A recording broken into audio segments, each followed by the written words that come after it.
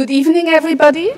Einen schönen guten Abend Ihnen allen. Ich möchte Sie nun alle begrüßen im Namen der Bundeszentrale für politische Bildung, der BPB, und des Alexander von Humboldt Instituts für Internet und Gesellschaft. Ich begrüße Sie zur dritten Vorlesung und Veranstaltung mit dem Titel Sinngebung in der digitalen Gesellschaft. Das Ziel unserer Veranstaltungsreihe ist, das Verständnis zu schärfen für die ähm, großen Veränderungen, die westliche Gesellschaften aktuell erleben. Was wir aktuell brauchen, meiner Meinung nach, ist eine gebildete und kritische Reflexion zu den sich äh, sehr beschleunigt vorangehenden Veränderungen in der Struktur unserer Gesellschaft und auch zum öffentlichen Diskurs über diese Veränderung. Zudem müssen wir uns auch über die äh, Reaktion der Politik und der Einzelpersonen befassen, die damit einhergehen. Dabei sollten wir nicht vergessen, dass es unterschiedliche Art und Weisen gibt, Sinngebung in der Digitalisierung zu sehen und dass viele, wenn nicht alle dieser Arten der Sinngebung heute überzeugend erscheinen, morgen schon ganz anders aussehen könnten und kurzfristig wirken könnten, kurzsichtig wirken könnten. Wenn wir uns ansehen, wie schnell die Themen, Narrative und Terminologie sich verändern, dann wird es klar, dass wenn wir unser Verständnis erweitern wollen von der Digitalisierung und ihrer Dynamik, dass wir dann einen Schritt zurücktreten sollten.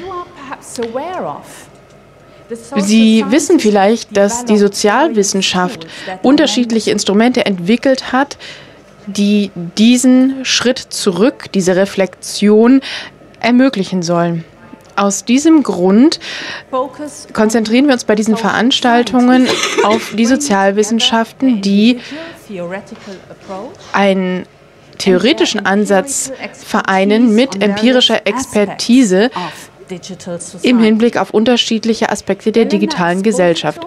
Elena Esposito, unser Gast heute Abend, befasst sich unter anderem mit dem Thema Zeit. Dazu gehört, gehören auch unterschiedliche Strategien der Gesellschaft vorauszuahnen, zu antizipieren und die Zukunft zu steuern. Angesichts der vorhersagbaren Möglichkeiten, die wir haben, wir als Kritiker und Enthusiasten der Digitalisierung, verschreiben uns aktuell der neuen Generation von Algorithmen. Elenas Forschungsgebiet und ihre Herangehensweise sind daher sehr aktuell. Aus diesem Grund sind wir unter anderem sehr froh, dass Elena unsere Einladung angenommen hat. Wir sind außerdem sehr froh, dass sie hier ist, da ihre Arbeit nicht nur originell und ganz erleuchtend für uns ist, vor allem im Hinblick auf das Thema von heute, sondern wir finden ihre Forschungsergebnisse auch sogar amüsierend und unterhaltsam. Und nun möchte ich unserem Moderator Tobi Möller das Mikrofon übergeben, der Elena jetzt ganz ordentlich vorstellen wird.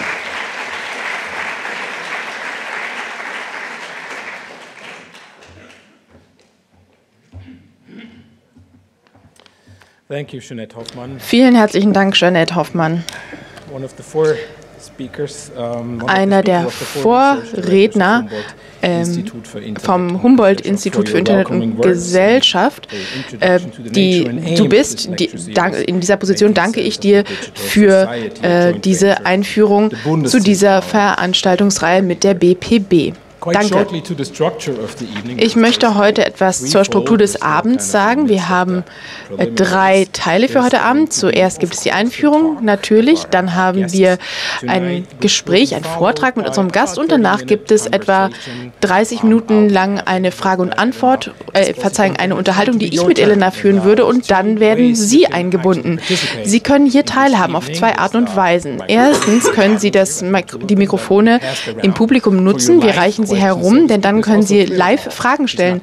Und außerdem können Sie auf Twitter teilnehmen. Das zeigen wir hier nicht auf der Leinwand an, aber äh, zwei Personen werden hier ihre Fragen über Twitter, die über Twitter ankommen, vorlesen. Das heißt also, wir können Fragen aus äh, dem Twitter-Konto benutzen, ebenso wie hier aus dem Publikum. Und ich denke, dass dies unseren Abend ganz unterhaltsam gestalten wird. Danach gibt es Getränke und ein paar kleine Snacks. Beeilen Sie sich, denn das Essen ist meist immer sehr schnell weg.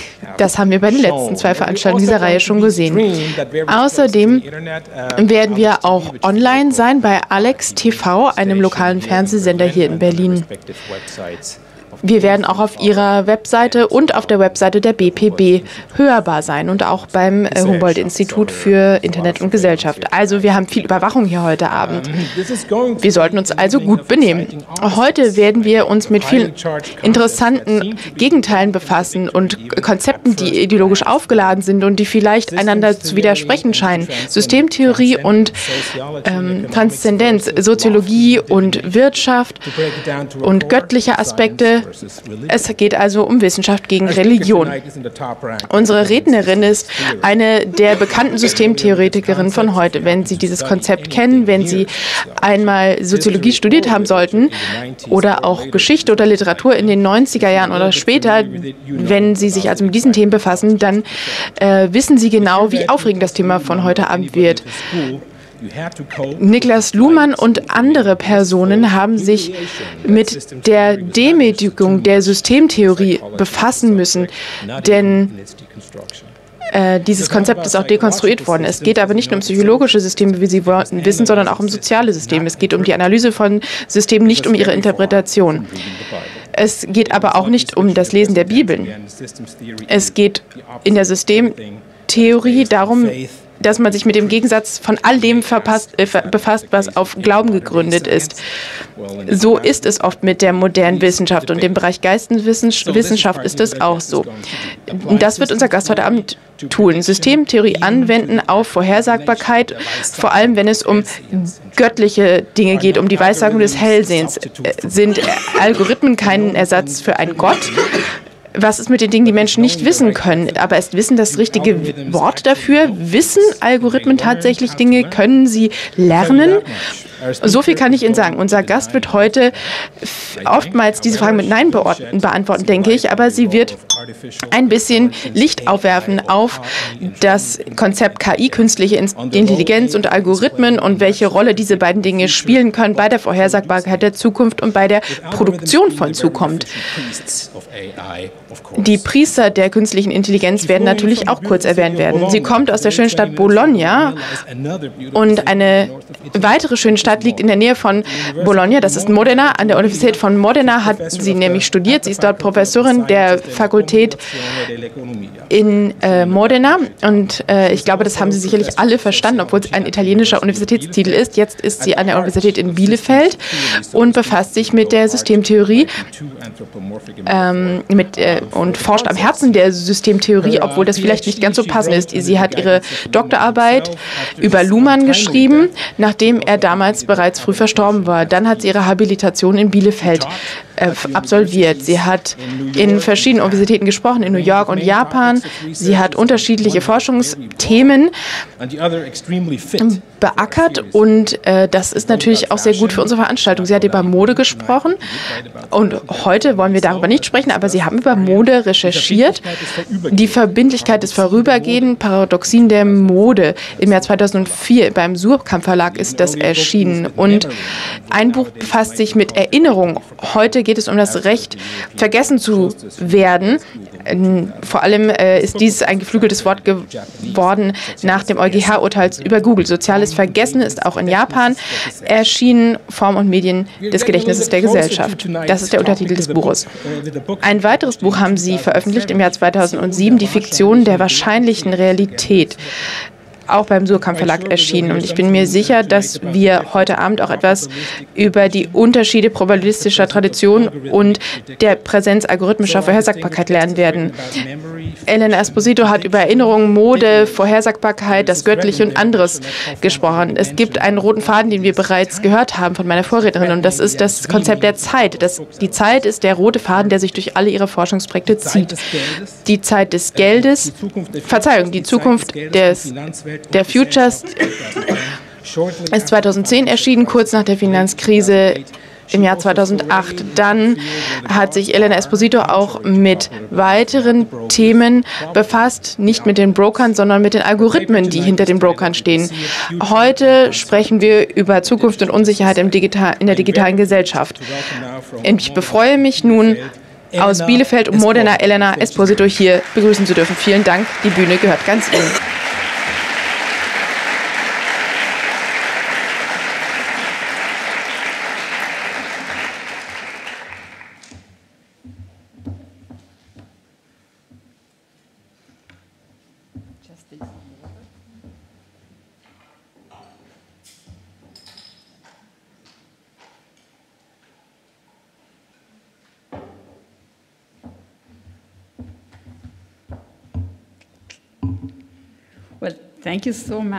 Vielen herzlichen Dank. Vielen Dank für die freundliche Einladung, für die wunderbare Vorstellung. Ich freue mich und es ist mir eine große Ehre, heute hier Teil dieser großen Veranstaltungsreihe zu sein. Das ist nämlich ein ganz faszinierendes Thema. Also nochmals danke für die Einladung. Worüber reden wir heute Abend? Nun, wir haben bereits gehört, worüber es heute Abend gehen könnte. Wir reden über die digitale Gesellschaft, über Zeitaspekte der digitalen Gesellschaft und über die Zukunft. Und wenn wir über das digitale Zeitalter sprechen, dann reden wir nicht nur über Menschen, sondern über Algorithmen. Was möchte ich mit Ihnen heute Abend besprechen? Nun, es geht um die Zukunft von Algorithmen und wie sie die Zukunft vorhersagen können. Es scheint eine neue Entwicklung im Bereich Algorithmen zu sein, dass Google und auch andere Suchmaschinen und weit verbreitete Algorithmen sich seit einigen Jahren mehr mit der Vorhersagbarkeit der Zukunft befassen, als mit der Verwaltung von Informationen. Das hat sich geändert. Es ist ein neuer Fokus dazugekommen für Suchmaschinen. Das ist zwar sehr subtil vor sich gegangen, aber in den letzten Jahren ist das sehr klar geworden. Besonders seit der Revitalisierung der künstlichen Intelligenz, wo maschinelles Lernen und Big Data und Deep Learning miteinander kombiniert worden sind.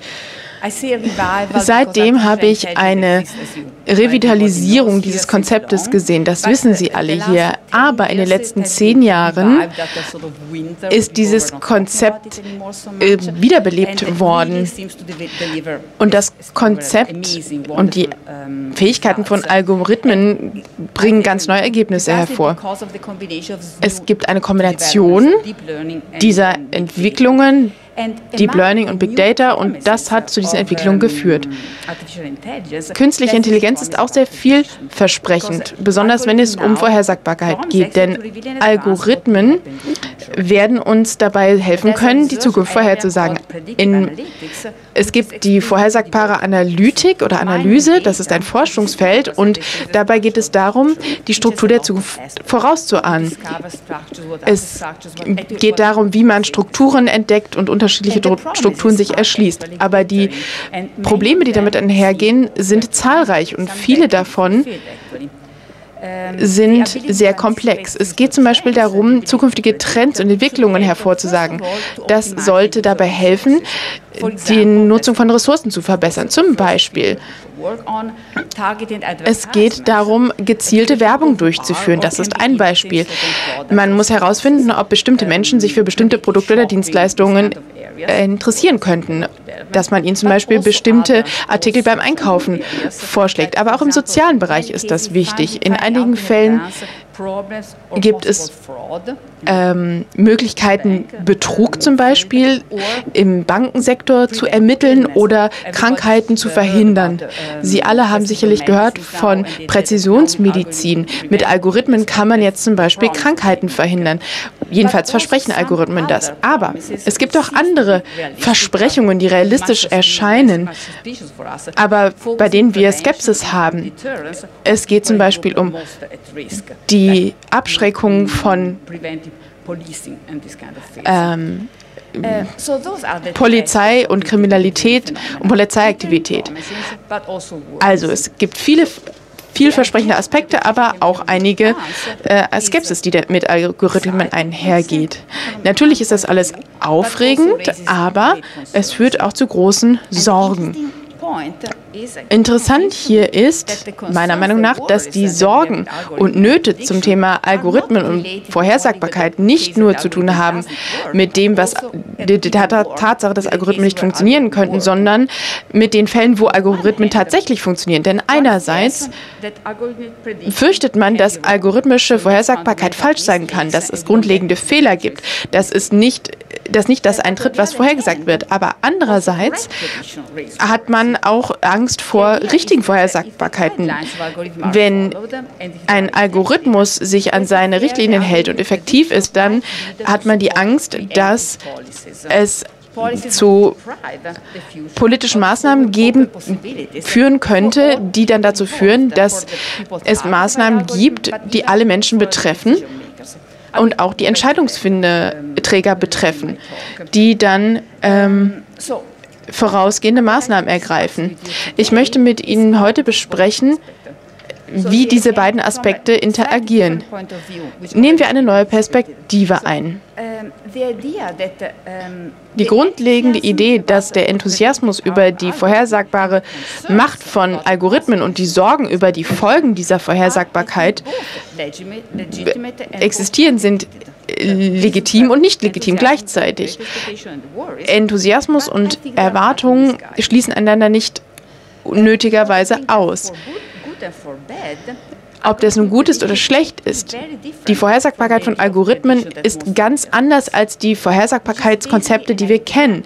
Es geht darum, etwas vorherzusagen mit einer neuen Technologie, dass, sich, das erst in der modernen Gesellschaft des 21. Jahrhunderts funktioniert. Es geht um eine ideale Vorhersagbarkeit, die geleitet ist und vorausgeahnt werden kann. Und es geht vor allem auch um Wahrscheinlichkeit. Ein Algorithmus ist kein menschliches Wesen, wie Vorhersagen früher getroffen worden sind. Und so ergeben sich natürlich auch neue Probleme. Algorithmusvorhersagen erlauben uns Dinge, die unmöglich wären für Menschen, auch wenn wir die Maßnahmen der Statistik an der Hand haben. Es ist gleichzeitig eine große Chance, aber führt zu neuen konzeptuellen Problemen, die wir uns auch ansehen müssen. Und das ist eine eher allgemeine Bemerkung. Worüber spreche ich hier? Wie funktionieren Algorithmen?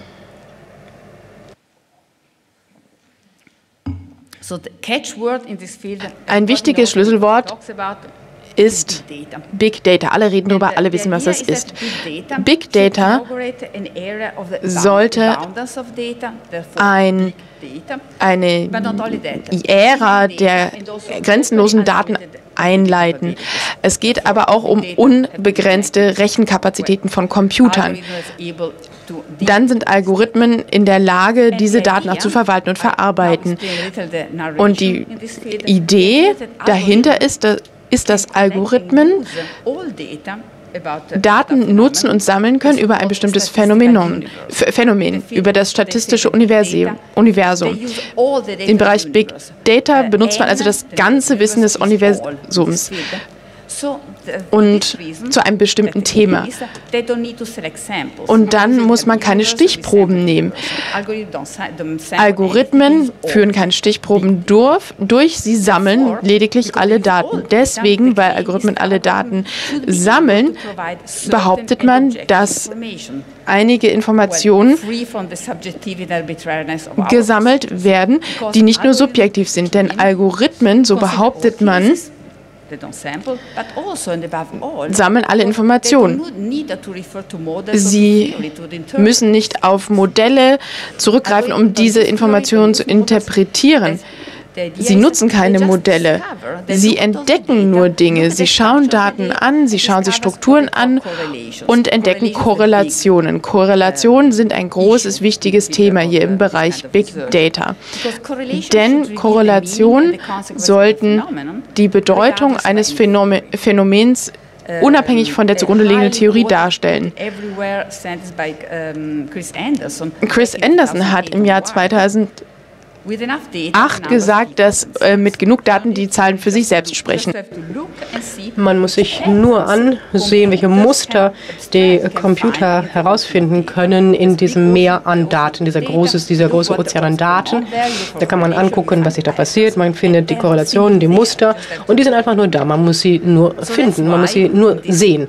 Und deswegen in diesem Diskurs ist es so, dass das Ergebnis einfach eigentlich nur eine Beschreibung ist. Keine Ursachen- und Folgenerklärung äh, oder Begründung, sondern einfach nur Beschreibung des Zustands. Also man muss nicht wissen, warum ein bestimmtes Ergebnis äh, passiert, man muss nur wissen, was passiert. Also nicht warum, sondern nur was. Also wir, äh, Korrelation ersetzt die Kausation, das heißt, wir sehen nur und wissen nur, was passiert, aber es ist uns egal, weshalb. Das ist natürlich sehr kontrovers, wie Sie das immer schon in meinen Vorträgen gehört haben. Es gibt eine große De Debatte darüber, jeder diskutiert das. Aber was ich sagen möchte hier, ist etwas anderes. Ich möchte hier sagen, dass das meiste gar nicht äh, wirklich passiert, auch wenn es da einen Hype gibt. Also auch wenn die Technik sehr fortgeschritten ist, also wirklich auf erstaunliche Art und Weise, ist es doch so, dass die Haltung, die dieser ganzen Diskussion über Big Data zugrunde liegt, die ist nicht so weit entwickelt. Also wenn man Leute sich anhört, was sie sagen, was man mit Big Data machen kann, dann ähm, scheint es mir so, dass äh, diese Vorhersage durch Algorithmen, wie das von Big Data-Theoristen erklärt wird, dass das eigentlich nichts äh, etwas sehr Neues ist, ähm, sondern dass es einfach nur eine, eine Wiederholung, ein Wiederaufleben der sogenannten Weissagung ist, wie es in der Antike gab, vor allem in Griechenland, aber vor allem auch in der alten chinesischen Welt war Weissagung ein ganz wichtiger Bezugspunkt für die Leute. Also die, in der Antike erschien es so, dass die Zukunft äh, äh, den Menschen nicht offen stand, nicht offensichtlich war, bei den Göttern schon.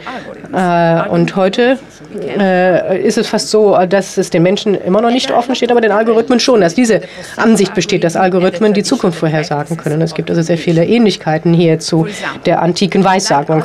Zum Beispiel Algo, diese weissagenden Prozesse der Algorithmen, äh, sind von bestimmten Bedürfnissen geleitet und äh, bestimmte Schritte müssen dafür unternommen werden. Und in beiden Fällen, also bei der Weissagung wie auch bei den Algorithmen, gibt es bestimmte Programme, und zum Beispiel bei diesen weissagenden Praktiken, die so ein bisschen wie wissenschaftliche Praktiken sind, aber eigentlich gar nicht äh, Phänomene erklären oder begründen möchten, sondern einfach nur sich mit ihnen befassen können. Also in der Antike wäre es äh, heretisch gewesen, ketzerisch gewesen, bestimmte Prozesse verstehen zu wollen. Nur die Götter konnten das verstehen und die Menschen mussten das nicht verstehen. Und dasselbe ist heute mit Algorithmen, dass Leute einfach denken, dass sie das nicht verstehen müssen. Und das ähm, ja, machte Sinn denn, äh, denn, denn äh, die, die alten Gesellschaften waren davon überzeugt, dass es eine grundlegende Ordnung gab und äh, das Ganze geleitet und äh, ge geführt wurde, aber dass die Menschen, dass es eine kosmische Logik gab, äh, kosmische Logik gab und dass die Menschen das nicht alles äh, verstehen müssen. Und dasselbe haben wir ja heute mit diesem Deep Learning und den Algorithmen. Da können wir dasselbe beobachten. Und in Bezug auf die Algorithmen, da war das äh, Raten des Ziels, da geht es nicht darum, das Phänomen zu äh, verstehen, sondern nur eine praktische Richtungsweisung zu bekommen, damit die Person äh, sich äh, in dieser Ordnung zurechtfinden kann. Also die Vorstellung war, dass das gesamte Universum in einem Netzwerk von Korrespondenzen ausgedrückt ist, also diese Korrespondenzen, die wir jetzt auch in diesem Algorithmus-Diskurs finden. Ähm, also eine Welt, in der alles mit, mit allem korrelierte. Und dies da konnten bestimmte Muster und Konfigurationen entdeckt und gefunden werden.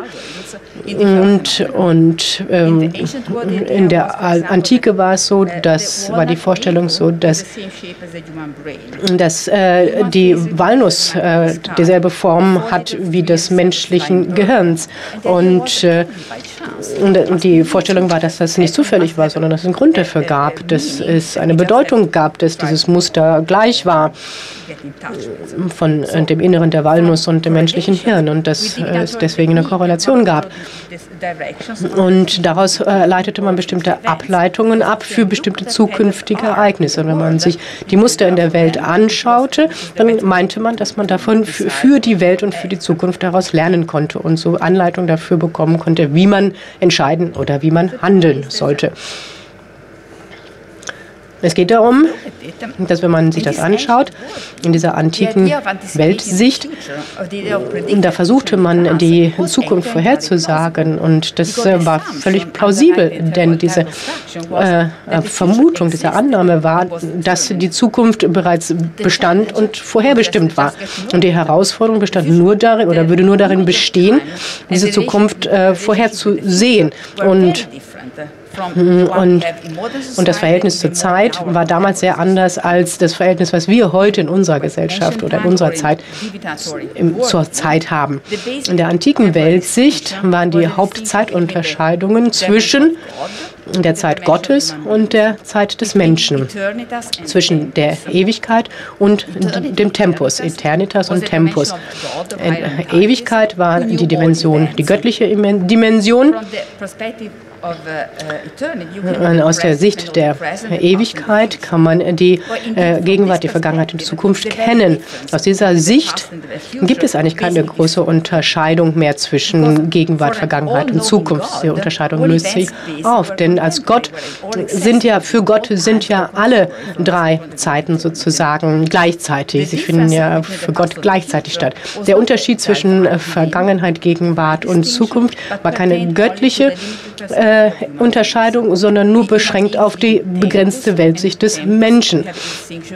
Und der Mensch unterscheidet bei Zeit zwischen Gegenwart, Zukunft und Vergangenheit.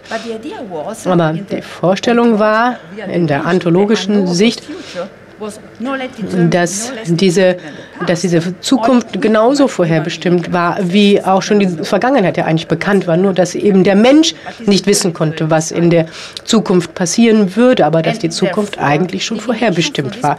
Und diese Weissagung war, oder die, die Möglichkeit der Weissagung war deswegen komplett rational. Es erforderte nur eine bestimmte Art von Techniken, um einen Blick in diese Zukunft gewinnen zu können. Die Zukunft war ja in der Ansicht der Antike schon längst da. Man konnte nur eben nicht da reinschauen, aber man meinte, dass man doch ein paar Anzeichen sehen konnte, um zu verstehen, was in der Zukunft passieren würde. Und das ist eine gewisse Rationalität. Es ist nicht irrational, das ist in Wirklichkeit eigentlich sehr plausibel. Es ist eine Art von Rationalität, die aus der Antike heraus verständlich war, aber nicht unserer Rationalität entspricht und also für unsere gegenwärtige Gesellschaft eben nicht rational erscheint. Unser Zeitverständnis ist sehr anders. Zeit im Allgemeinen, aber insbesondere unsere Sicht auf die Zukunft. Was für uns sehr wichtig ist und was wir nicht aufgeben möchten, ist, die, dass die Zukunft für uns offen ist. Die Zukunft ist ein offenes Feld und heute in der, im Präsens äh, können wir Menschen die Zukunft nicht wissen, aber selbst Gott kann die Zukunft in, nicht vorhersagen, denn die Zukunft gibt es für uns im Prinzip noch nicht. Die Zukunft gibt es im Vorfeld nicht, denn die Zukunft wird geschaffen durch unsere Handlungen und also, also aus grundlegenden Riesen kann die, Gründen kann die Zukunft deswegen nicht bekannt sein. Die Zukunft ist nicht gegeben, ist nicht eine Serie von Ereignissen, die schon beschlossen sind, sondern wie Human Cosell das äh, beschreibt, die, die, die, die Zukunft liegt noch jenseits des Horizontes. Äh, wir äh, versuchen uns ihr zu nähern, aber wir können sie nie erreichen. Wir versuchen, es ist wie ein Horizont. Also wenn wir uns dem Horizont nähern, können wir ihn ja auch nicht erreichen, sondern er bewegt sich weiter von uns weg.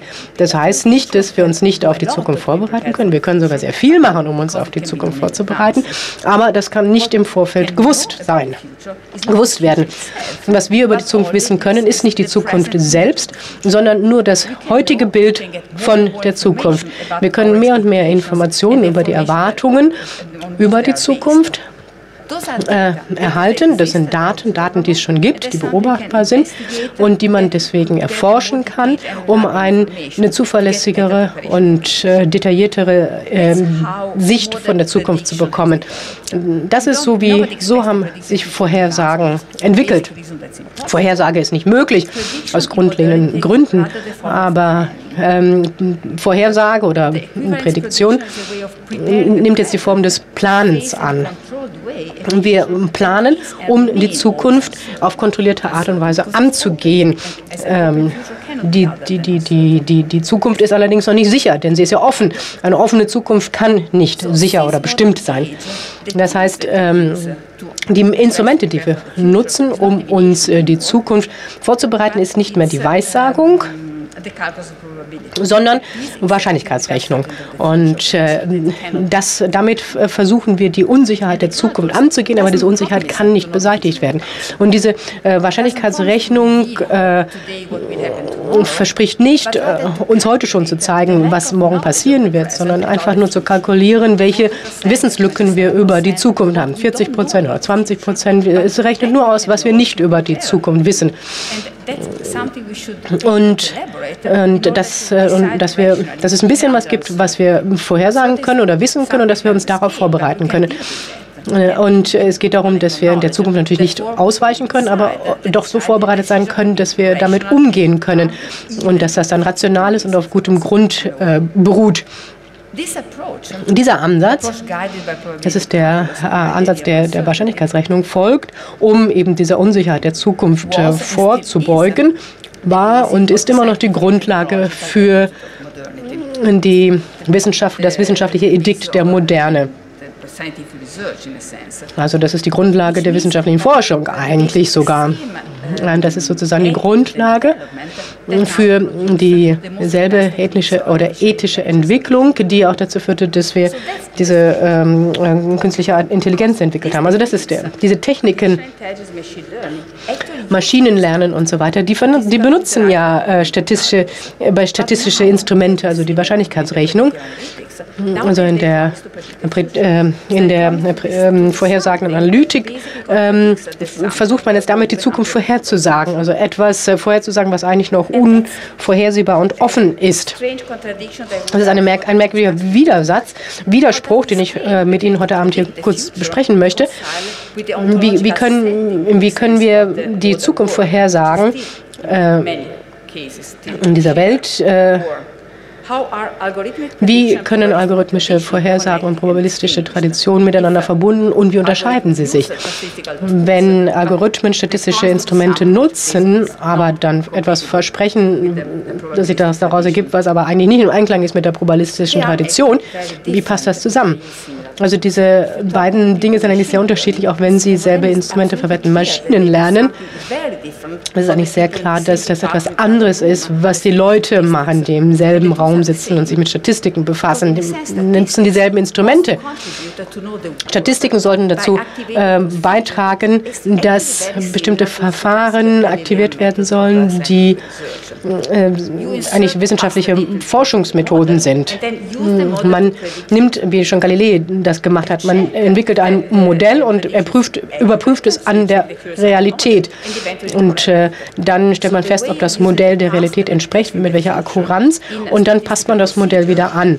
Und äh, wenn man das mit der Statistik macht, da gibt es das, wenn man Statistik verwendet, dann möchte man die Welt damit erklären mit diesen Mitteln. Also und beim Maschinenlernen, im Gegensatz dazu, ist der Zweck sehr anders. Der Zweck des Maschinenlernens besteht nicht darin, zu verstehen, verstehen, wie ein bestimmtes Phänomen entstanden ist. Es geht auch nicht, irgendein Modell zu erarbeiten. Wenn man mit Algorithmen arbeitet, dann weiß man oft nicht mal, ob es überhaupt ein Modell geben kann. Und die Maschine arbeitet auch ohne Modell. Und diese algorithmischen äh, Prozesse, da geht es nicht um die Wahrheit, sondern es geht einfach nur um, man, man möchte nur eine Vorhersage machen. Also Es geht gar nicht um Wahrheit. Diese Haltung gegenüber der Zukunft zeigt große, große Unterschiede auf zwischen den algorithmischen äh, Vorhersagen und der probabilistischen Tradition. Bei der, bei die Statistiken produzieren äh, Vorhersagen auf Grundlage eines Durchschnitts äh, von den beteiligten Elementen.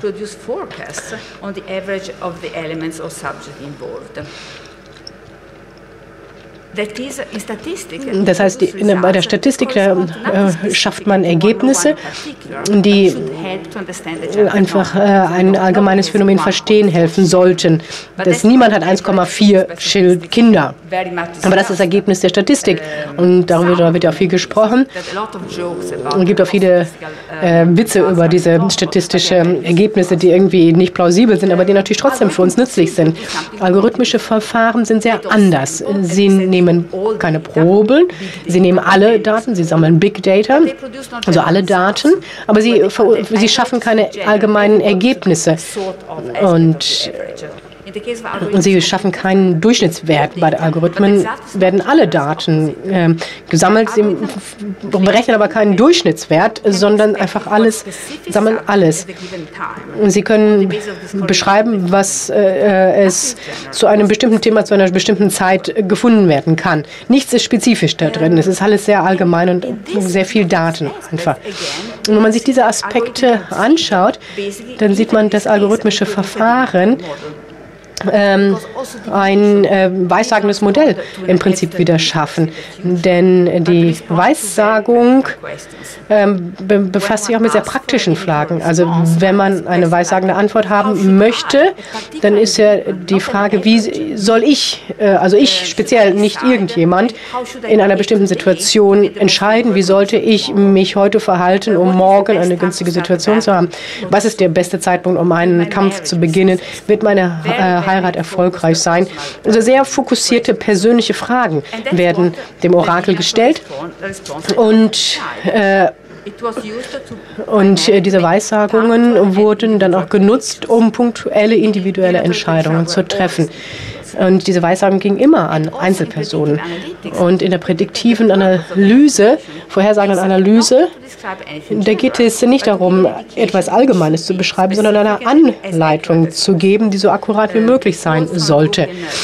Zum Beispiel ein Zitat hier von einem Buch über äh, in, eine, eine vorhersagende Analyse, die, äh, die, die, Schätzung der Zahl der äh, Eishörnchen, die im nächsten Monat in Nebraska verkauft werden sollte. Ähm, das äh, mit einem nicht sagen, welcher jeweilige Einwohner von Nebraska im nächsten Monat mit einem Eishörnchen in der Hand, Eishörnchen in der Hand gesehen wird. Und das ist der Unterschied zwischen äh, Maschinenlernen und ähm, vorhersagende Analytik. Und äh, der durch das, die, die, die, die vorhersagende Analyse, Analytik äh, bezieht sich auf den Durchschnittsmenschen des, ähm, das heißt, dass äh, im Durchschnitt jeder Mensch einer bestimmten Bevölkerung diesem Modell mehr oder weniger entsprechen sollte. Und von die, die neue Grenze, der neue Horizont der ähm, Vorhersage ist sehr anders. In, äh, in, einer, in einer Bewegung, wo es ähm, die Suche nach dem Universum, darum kümmert sich niemand mehr, das interessiert niemanden mehr. Ähm, in, in, der medizinischen Forschung müssen wir jetzt wissen, wie Krebs funktioniert. Ist, äh, die Individualisierung, äh, äh, ähm, das interessiert jetzt nicht mehr, wie, wie, wie, Krebs sich insgesamt entwickelt, sondern es geht nur um deinen oder meinen Krebs. Also es geht nicht mehr um universelle Angaben, sondern nur um das äh, von äh, Einzelpersonen. Hier geht es bei dem Beispiel um Krebs, aber die erstaunlichsten Fälle kommen von der vorhersagenden Medizin. Das funktioniert tatsächlich sogar in einzelnen Fällen. Aber wenn es funktioniert, dann funktioniert das, weil Algorithmen Teil dieser Operationen sind. Sie beobachten die Welt und befassen sich mit der Welt von innen und nicht von außen her, nicht mit Hilfe eines Modells. Sie sind innerhalb der Daten, innerhalb dieses dieses, dieses Felges, Feldes. Und das äh, verändert die Meinung der Vorhersagbarkeit. Wenn Algorithmen Vorhersagen machen, dann sehen sie nicht vorher, welche Struktur gegeben ist, welche Zukunft ähm, der Algorithmus vor sich sieht. Sie sehen eine Zukunft, die noch nicht da ist, die nicht möglich ist. Algorithmen stellen die Zukunft her mit ihren Berechnungen. Deswegen sind Algorithmen nicht in der Lage, etwas zu antizipieren, was noch nicht da ist, aber Algorithmen können die Zukunft vorhersehen, die als Ergebnis dessen da sein könnte, was sie selbst berechnen, aufgrund ihrer eigenen Erfahrung. Ich werde Ihnen einige Beispiele geben. Uh, die Vorhersagbarkeit von Algorithmen ist immer kontextuell zu sehen. Sie beziehen sich nur auf ein besonderes Thema, zum Beispiel, welche Person aus Nebraska dann irgendwann mit ähm, einem Eis in der Hand über die Straße gehen wird. Uh, Zum Beispiel ein Algorithmus beim sogenannten Predictive Shopping sagt nicht, wie sich die äh, Verbrauchertrends in, den, im nächsten, in der nächsten Saison entwickeln oder wie sich die Marktanteile verändern werden. Sie gehen nicht auf allgemeine Trends ein, sondern auf spezielle Phänomene. Sie ahnen voraus, welche besonderen Produkte, bestimmten Produkte ein bestimmter Verbraucher kaufen werden würde. Und meistens sagen Sie das äh, voraus, bevor der Verbraucher überhaupt von diesem Produkt gehört hat und es gekauft hat oder sich dafür interessiert hat. Die Person weiß vielleicht noch gar nicht, dass sie dieses Produkt brauchen wird, aber der Algorithmus berechnet das und schlägt dies dann vor. Und so funktioniert das dann. Das wissen Sie. Ich weiß vielleicht jetzt noch nicht von einem Produkt, das es bereits gibt, aber der Algorithmus identifiziert, und ich übertreibe jetzt hier, der Algorithmus identifiziert, dass dieses Projekt zu meinen vergangenen Kaufentscheidungen und den Entscheidungen anderer berühmter Personen passen könnte. Und es gibt ganz viele Daten über mich im Internet und aus irgendeinem Grund denkt der Algorithmus, dass ein Pro Produkt X zu mir passen könnte. Auf Grundlage dieser Kriterien entscheidet er dann und diese Kriterien, die kennen wir gar nicht. Welche Informationen der Algorithmus benutzt, wissen wir gar nicht, um zu dieser Entscheidung zu gelangen. Wir wissen nicht, wie die Algorithmen die Entscheidung fällen, aber oftmals funktioniert es. Wir, die Algorithmen funktionieren nicht so, wie wir es denken, wie Amazon zum Beispiel. Es geht nicht nur darum, ein Buch angeboten zu bekommen, das ähnlich ist wie das, was man schon liest. Nein, es gibt viel überraschendere Ergebnisse, die informativ sind. Zum Beispiel, ein Nutzer hat eine Barbie-Puppe äh, gebraucht und äh, als nächstes kommt eine Reise nach Marokko. Und die Person weiß vielleicht noch gar nicht, dass so eine Reise nach Marokko auf der Tagesordnung stehen könnte. Aber wenn der Algorithmus korrekt vorhersagt, dann kauft diese Person dann ein Flugticket für eine Reise nach Marokko. Und wenn die Vorhersage richtig ist, dann ist das nicht der Fall, weil die, der Algorithmus die Zukunft vorhergesehen hätte, sondern weil die Person gar nicht wusste, dass diese Reise anstehen könnte und in der Zukunft diese Person einmal nach Marokko reisen würden. Und ohne die Intervention des Algorithmus wäre es gar nicht zu dieser Version der Zukunft gekommen. Die Verbraucher kaufen also etwas, was der Algorithmus produziert hat. Und der Algorithmus hat also recht, da er eine Zukunft schafft, die seiner Vorhersage entspricht. Oder auch nicht, denn manche Personen gehen vielleicht nicht auf die Angebote des Algorithmus ein. Aber dann lernt der Algorithmus aber. Wenn man einen Vorschlag des Algorithmus annimmt, dann hat der Algorithmus recht. Ja, okay, aber wenn ich ein Angebot des Algorithmus nicht annehme, dann lernt der Algorithmus aus der Erfahrung und ändert vielleicht seine Ressourcen etc. Und die Vorstellung dahinter ist, dass es nicht nur beim Predictive Shopping funktioniert, also beim Einkaufen, sondern auch in vielen anderen Bereichen, besonders im ähm, Bereich der Verhinderung von Straftaten. Die Vorhersage, wie wir sie aus Filmen kennen zum Beispiel, sollte funktionieren, bevor ein, eine Person kriminell wird. Denn zum Beispiel könnte man Algorithmen beim Profiling, bei der Erstellung von äh, Verbrecherprofilen benutzen und zur Vorbeugung anwenden. Die Vorstellung ist also, dass Algorithmen richtig oder falsch liegen können, aber oft liegen sie richtig. Egal, ob sie richtig oder falsch liegen, sollten sie aber immer effektiv sein. Hauptsache effektiv, denn auch mit vorhersagbaren Algorithmen wenn sich Menschen an die Vorhersagen halten, dann sollten die Algorithmen die bestmögliche Vorhersagbarkeit auf Grundlage der verfügbaren Daten haben. So soll der Algorithmus dann einen Beitrag leisten zur Verbesserung seiner eigenen Leistung in der Zukunft. Algorithmen haben vielleicht nicht immer recht, aber sie sind immer effektiv. Und so behauptet man es zumindest über Algorithmen. Aber eigentlich ist es so, es klingt faszinierend oder uh, nicht, aber der Punkt ist, dass dies nicht immer der Fall ist. Wir haben viel Forschung, die zeigt, dass dies nicht unbedingt passiert, dass Algorithmen nicht immer effektiv sind. Cathy O'Neill zum Beispiel hat in einem Buch, das Sie vielleicht ähm, bereits gelesen haben, denn das ist sehr weitgehend besprochen uh, worden, zeigt, wie in vielen Fällen Algorithmen so nicht funktionieren. Algorithmen sind manchmal nicht effektiv, nicht nur weil sie falsch liegen, sondern äh, und auch nicht, wenn sie richtig liegen. Denn wenn Algorithmen korrekt sind, dann können die Vorhersagen von Algorithmen immer noch ineffektiv sein.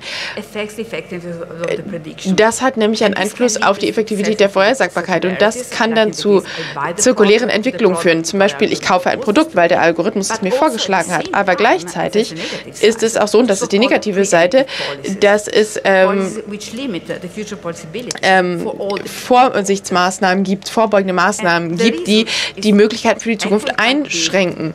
Der Grund ist ganz klar, denn unabhängig davon, wie gut die Instrumente sind, man kann nicht vorhersagen, genau wie die Zukunft aussehen wird.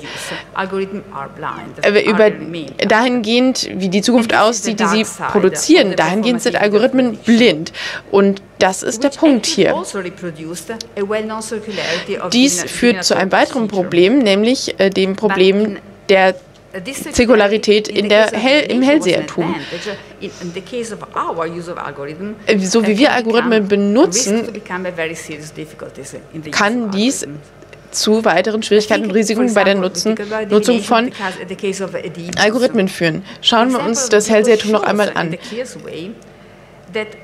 Wir haben gesehen, dass oftmals äh, ähm, Datenantworten ähm, sich selbst erfüllen, dass Weissagungen sich selbst erfüllen werden. Auch wenn man versucht, etwas, das vorher gesagt worden ist, nicht zu erfüllen, dann ist es meist doch so, dass es sich trotzdem erfüllt. In der Antike hat das Sinn ergeben, denn man kann der Vorhersage nicht entkommen. Und dies hat damals bestätigt, dass äh, man durch eine höhere Ordnung vorherbestimmt wird. So hat man es in der Antike gesehen. Es, ist, es liegt nicht an mir, was passiert in der Zukunft, sondern etwas Übergeordnetes entscheidet. Und dann wird sich etwas bestätigen, dem wir nicht entkommen können, eben weil es dieser höheren Ordnung obliegt. Die Zukunft ist bereits vorentschieden, auch wenn wir Menschen es nicht wissen weil die Zukunft ja ungewiss ist. Aber jetzt leben wir in einer anderen Zeit. Wir leben immer noch mit einer offenen Zukunft. Und in unserer semantischen Zeit ist es so, dass dies zu großen Problemen führt. Vor allem führt es dazu, dass wir manchmal nicht lernen können. Das ist größte, das größte Problem für Algorithmen. Cathy O'Neill hat gesagt, dass Algorithmen ein Instrument sind zur Veränderung von Verhalten und sie haben einen Einfluss auf die Realität, die sie schaffen. Das heißt, die Algorithmen sind nur die Realität, in die sie eingreifen. Und das Problem dass sie, ist, dass sie nicht von dem lernen, was sie nicht erleben können. Die Algorithmen können die Welt ohne ihre eigene Intervention nicht äh, erkennen. Und ich werde Ihnen ein Beispiel geben. Die Nutzung von Algorithmen führt zu einer Art Blindheit, die einen Einfluss auf das hat, was wir hier erleben und auch auf die Instrumente, die wir nutzen. Aus diesem Grund, und das ist der Hauptgrund, ist es schwierig, Vorhersagen zu treffen. Und es sind ganz andere Schwierigkeiten als bei der statistischen Vorhersage.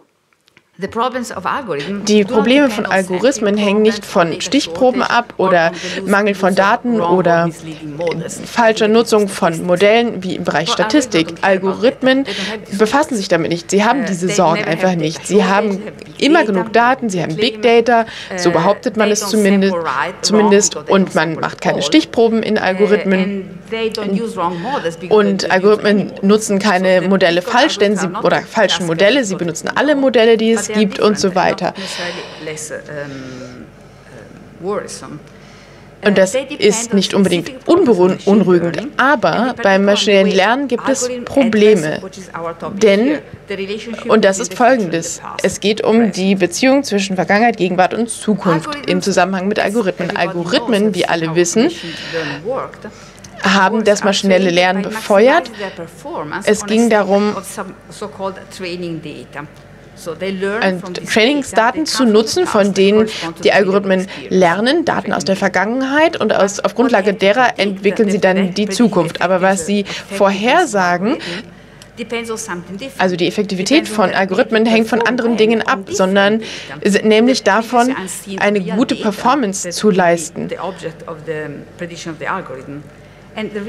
Und das wahre Problem der Vorhersagen ich darin, dass diese Trainingsdaten gut sind für das Lernen eines Algorithmus, aber die wahren Daten sind etwas anders, da nämlich die Vergangenheit anders ist als die Zukunft. Und die realen versus die Trainingsdaten und der Unterschied zwischen ihnen führt zu Schwierigkeiten, die wir oft ignorieren. Das ist das grundlegende Problem. Und das ganz ernsthafte Problem, wenn es um Vorhersagen geht. Zum Beispiel Mm-hmm. Algorithmen lernen die Ausgangs- und Trainingsdaten so gut, dass sie blind werden für andere Daten. Zum Beispiel der Algorithmus, und das wirkliche Beispiel werde ich äh, später bringen, ein Algorithmus lernt sehr gut mit Rechtshändern ähm, zu arbeiten, dass er gar nicht erkennt, dass ein Linkshänder auch ein möglicher Nutzer sein könnte. Das ist ein übliches Problem für Algorithmen und das nennt man Overfitting, dieses Problem. Das ist ein ganz großes Problem im maschinellen Lernen. Es ist ein großes Problem, das wirklich alle angehen müssen, dieses Overfitting. Denn das taucht immer wieder auf. Wie, wie können wir damit umgehen? Wie können, kann diese Bedingung, dass die Vergangenheit anders ist als die Zukunft und dass man, dass die Algorithmen blind werden, bei, äh, vor allem angesichts ihrer eigenen Effektivität, wie können wir diese Dinge angehen? Wie können wir das theoretisch angehen?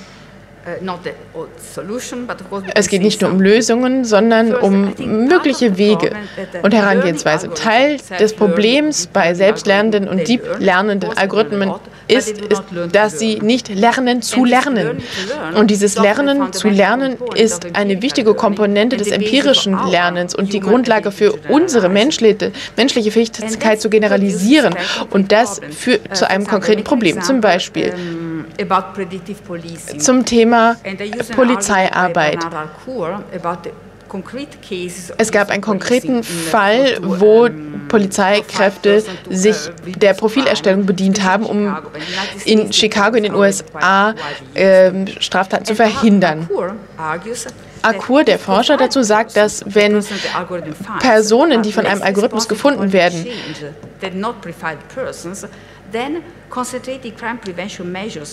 sich nicht äh, entsprechend verhalten, dann kann die Algorithmusvorhersage kontraproduktiv sein. Es gibt eine Person, die Gefahr läuft, ein Verbrechen zu begehen, die durch einen Algorithmus gefunden wird. Und stellen Sie sich nun vor, dass der Algorithmus dann eine Person entdeckt, dass selbst wenn sie äh, eine Straftat begehen könnte, dass sie trotzdem, trotz der Vorhersage und der versuchten Verhinderung der Straftat, eine Straftat begeht. Denn uh, manchmal erfüllt sich ja eine Vorhersage. Und gleichzeitig ist es auch so, wenn man also eine, diese Person verfolgt, dass dann andere Personen wo eine Überwachung sinnvoll sein könnte, dass die dann Straftaten begehen. Das zeigt also, der Algorithmus hatte quasi recht und hat eine Person gefunden, die eine Straftat begehen könnte. Und dann hat man aber nicht andere verfolgt. Wir haben uns in der Forschung auch nun weiterentwickelt und wir haben daran gesehen, dass der Algorithmus nicht aus der Erfahrung lernen kann. Wenn man die Erfahrung ansieht, die man gemacht hat, geht es nicht nur darum, Hypothesen zu stärken für Menschen, die etwas über Probabilität wissen, sondern wir, wir nutzen Erfahrungen und Hypothesen aus der Vergangenheit, um die Hypothesen für die Zukunft zu verbessern. Aber die Algorithmen können das nicht. Sie können keine unterschiedlichen Hypothesen selbst entwickeln und anwenden.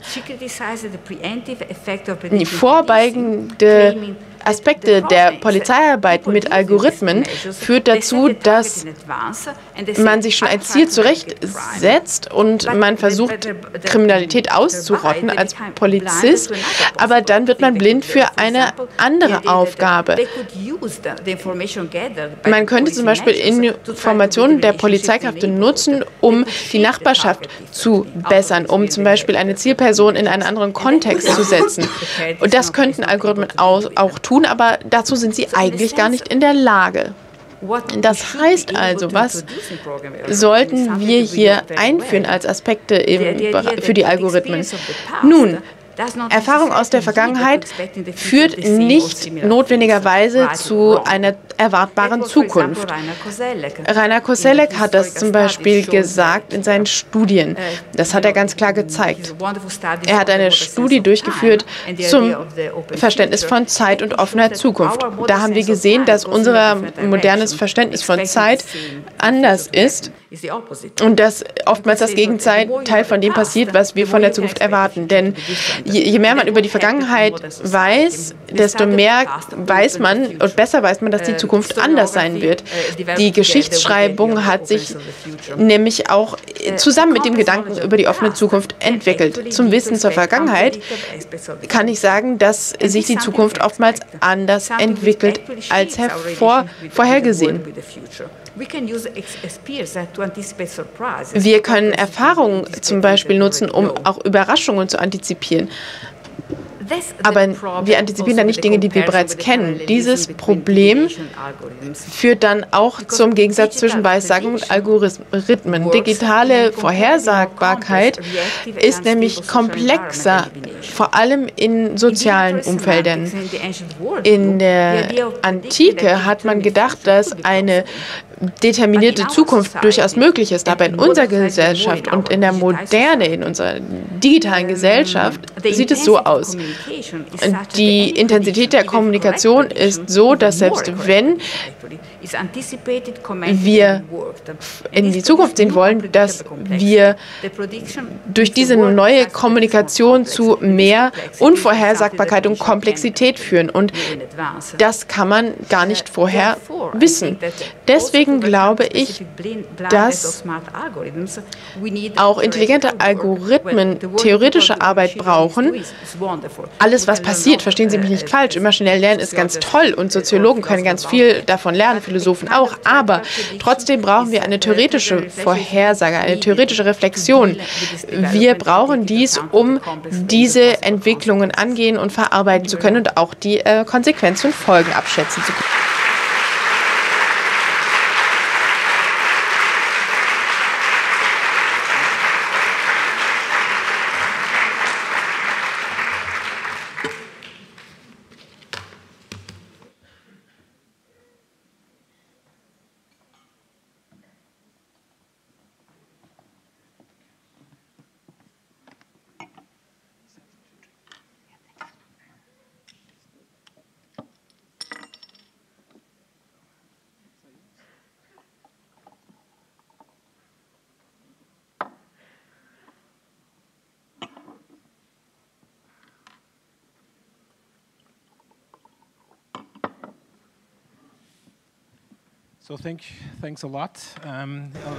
Ja, vielen Dank für äh, diesen einsichtsreichen und wunderbaren Vortrag über die Unterschiede zwischen dem, was Algorithmen tun und was die äh, probabilistische Vorhersage in der Vergangenheit üblicherweise gemacht hat.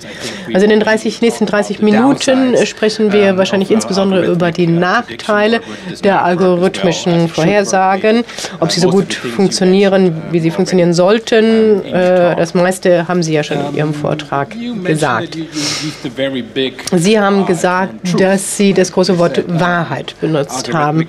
Sie haben gesagt, algorithmische Vorhersage, da geht es nicht um die Wahrheit, sondern es geht mehr um Effizienz. Also vielleicht sollten wir hier so ein bisschen äh, mehr ein bisschen in das Vokabular der Systems, äh, Systemtheorie wechseln. Es geht wenig, weniger um Intelligenz, es geht hier um Kommunikation. Also Algorithmen sind nicht wie Menschen, aber sie bewegen sich innerhalb von Systemen. Das heißt, äh, ist es vielleicht so, dass das ganze Konzept, das diesen äh, Rahmen bietet für künstliche Intelligenz, äh, ein Begriff ist, den wir überarbeiten müssen? Wissen, müssen wir eigentlich über äh, AC sprechen, also nicht über Klima, äh, Air Conditioning, sondern über künstliche Kommunikation? Ist es Zeit, dass wir einen neuen Begriff einführen? Ja, es ist ganz entschieden Zeit für einen neuen Begriff. Und ich würde mich sehr freuen, über künstliche Kommunikation zu sprechen, eben weil ich ja äh, Soziologin bin. Ich habe etwas in diese Richtung schon vorgeschlagen und ich habe festgestellt, dass die Leute dem auch zuhören und dass sie das nicht bedeutungslos finden. Aber wie ich Kommunikation interpretiere, also ich bin eine Systemtheoretikerin oder eine Systemtheorie äh, nach Niklas Luhmann. Selbst in der Soziologie, selbst in der Kommunikationstheorie ist das noch nicht Mainstream. Also selbst bei Maschinenlernen, maschinellen Lernen, denke ich, gibt es viele Leute, die das in diese Begriffe von der Soziologie noch nicht akzeptieren. Aber das hat, glaube ich, Ihre Frage noch nicht erschöpfend beantwortet. Ich glaube, ich wäre ganz begeistert, wenn ich über künstliche Kommunikation sprechen könnte. Das wäre aber der erste Schritt, den jeder in diesem Bereich jetzt akzeptiert, ist, dass äh, künstliche Intelligenz nicht funktioniert. Also jemand hat vorgeschlagen, maschinelles Lernen zu das zu nennen. Das klingt nicht so toll, ist nicht so effektiv, ist nicht so sexy. Es ist schwierig, eine Metapher dafür zu finden. Aber wenn äh, wir uns das äh, Merkwürdige, aber auch das Faszinierende an, daran anschauen, ist, wenn wir über künstliche Intelligenz in den letzten zehn Jahren sprechen, dann geht es nicht nur um Intelligenz, sondern auch um eine klare Analogie zu der menschlichen Art, Informationen zu verarbeiten.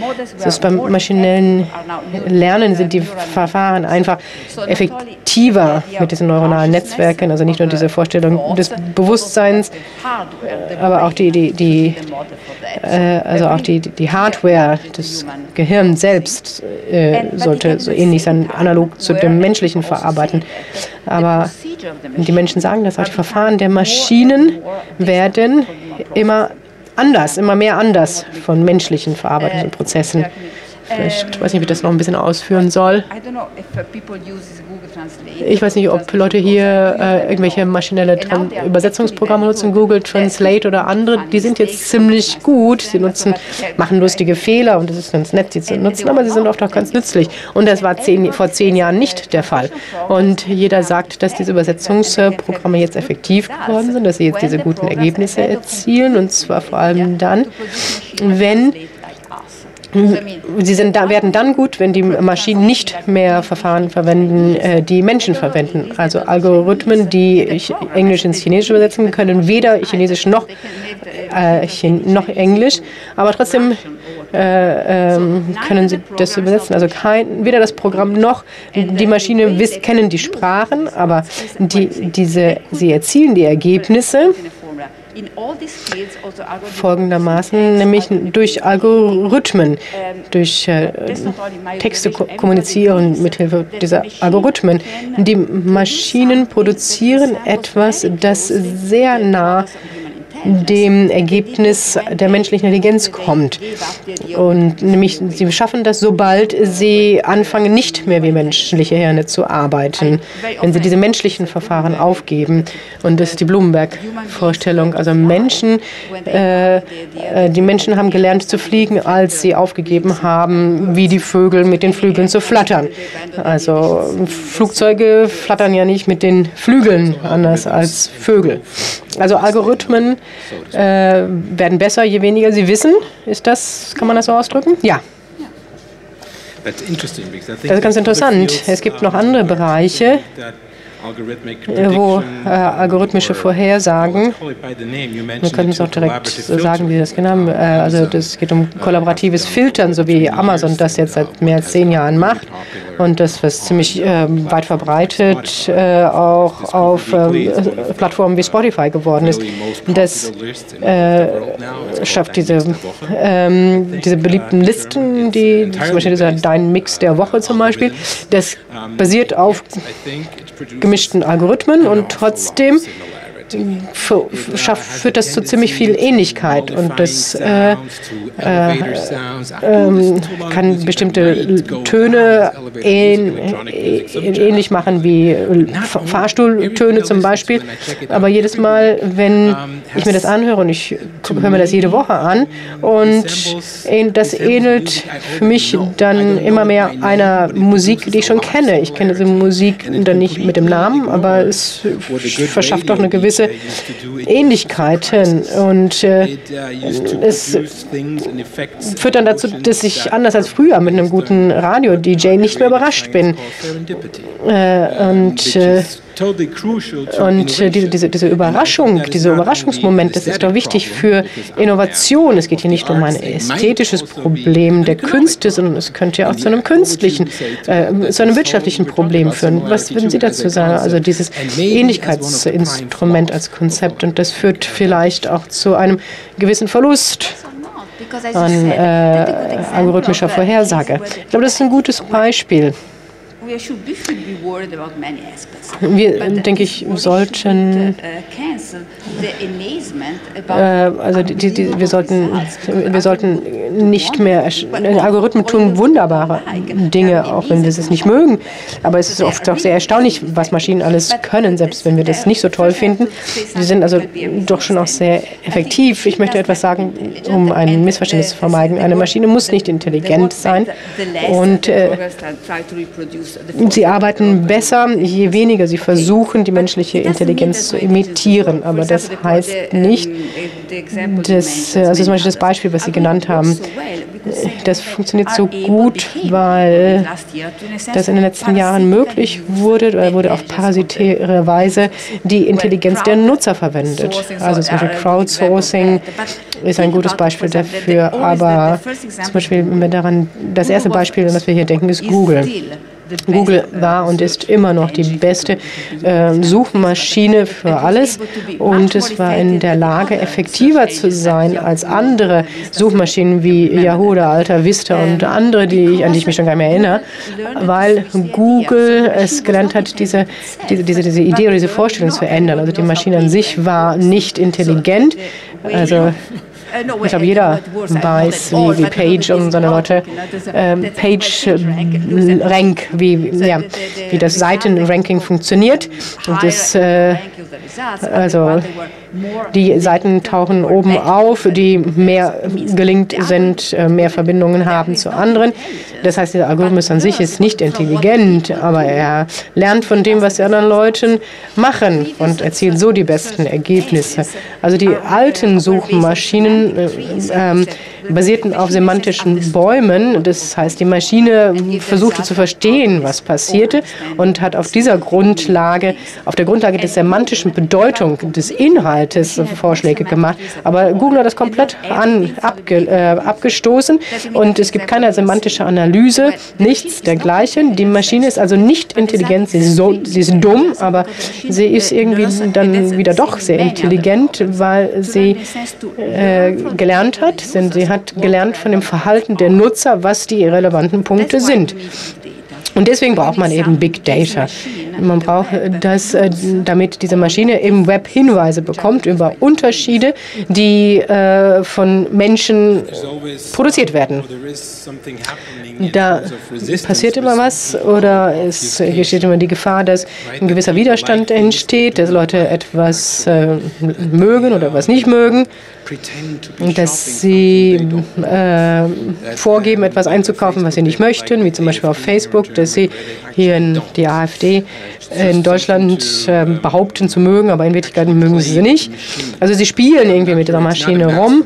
Das ist jetzt kein Massenphänomen, aber es ist immer noch eine Option, die ähm, möglich ist, dass äh, Leute vielleicht ihr Profil manipulieren oder ändern, damit die großen Big Data Maschinen nicht so viel von ihnen wissen.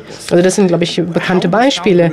Wie gehen Algorithmen damit um, mit dieser subjektiven Eindruck? Also die, die, die Maschinen sind ja nicht daran interessiert, aber es gibt ja doch immer die Möglichkeit, dass man äh, sich dem widersetzt, dass man wahre Spuren hinterlässt.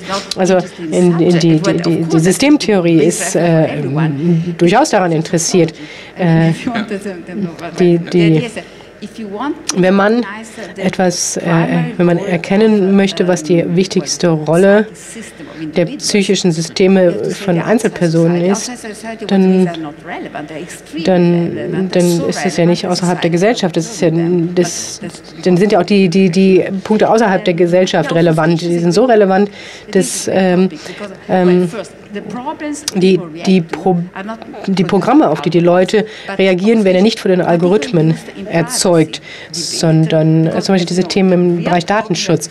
Das, äh, sind große Probleme. Niemand weiß, wie man damit umgehen soll. Schutz der Privatsphäre, Datenschutz. Wie können Algorithmen äh, Informationen äh, sammeln, zum Beispiel auch aus Daten, die keine Bedeutung für irgendjemanden haben. Also für Algorithmen ist nicht nur wichtig, was ich im Netz geschrieben habe und wo ich zuschaue, Zustimmung suche, sondern das Problem ist, dass der Algorithmus sehr viel über mich weiß, äh, was ich selbst gar nicht weiß, weil er das noch aus dem GPS-System gesammelt hat und so weiter. Also dieser Datenschuppen, die, über den jeder im Netz verfügt. Und das ist das, die eigentliche Gefahr. Und nicht mal, dass das eigentlich genutzt wird, diese Daten. Aber et, äh, es war so eine Verdunklung, eine Verschleierung ist gut, äh, aber um äh, um dem zu vermeiden, dass man ein Profil im Netz äh, von sich äh, erstellen lassen kann, versuchen Leute sich zu verstecken. Also man wird von der, von der Maschine wird ein Profil erstellt. Das, ich weiß nicht, ob es einen Sinn macht, seine Spuren zu, vom, zu vom verbergen, denn die Maschine wird ja sowieso überall sein. Also die, die, die, wir müssen nach der Logik der Maschine agieren. Das ist nicht die Logik der, der Menschen.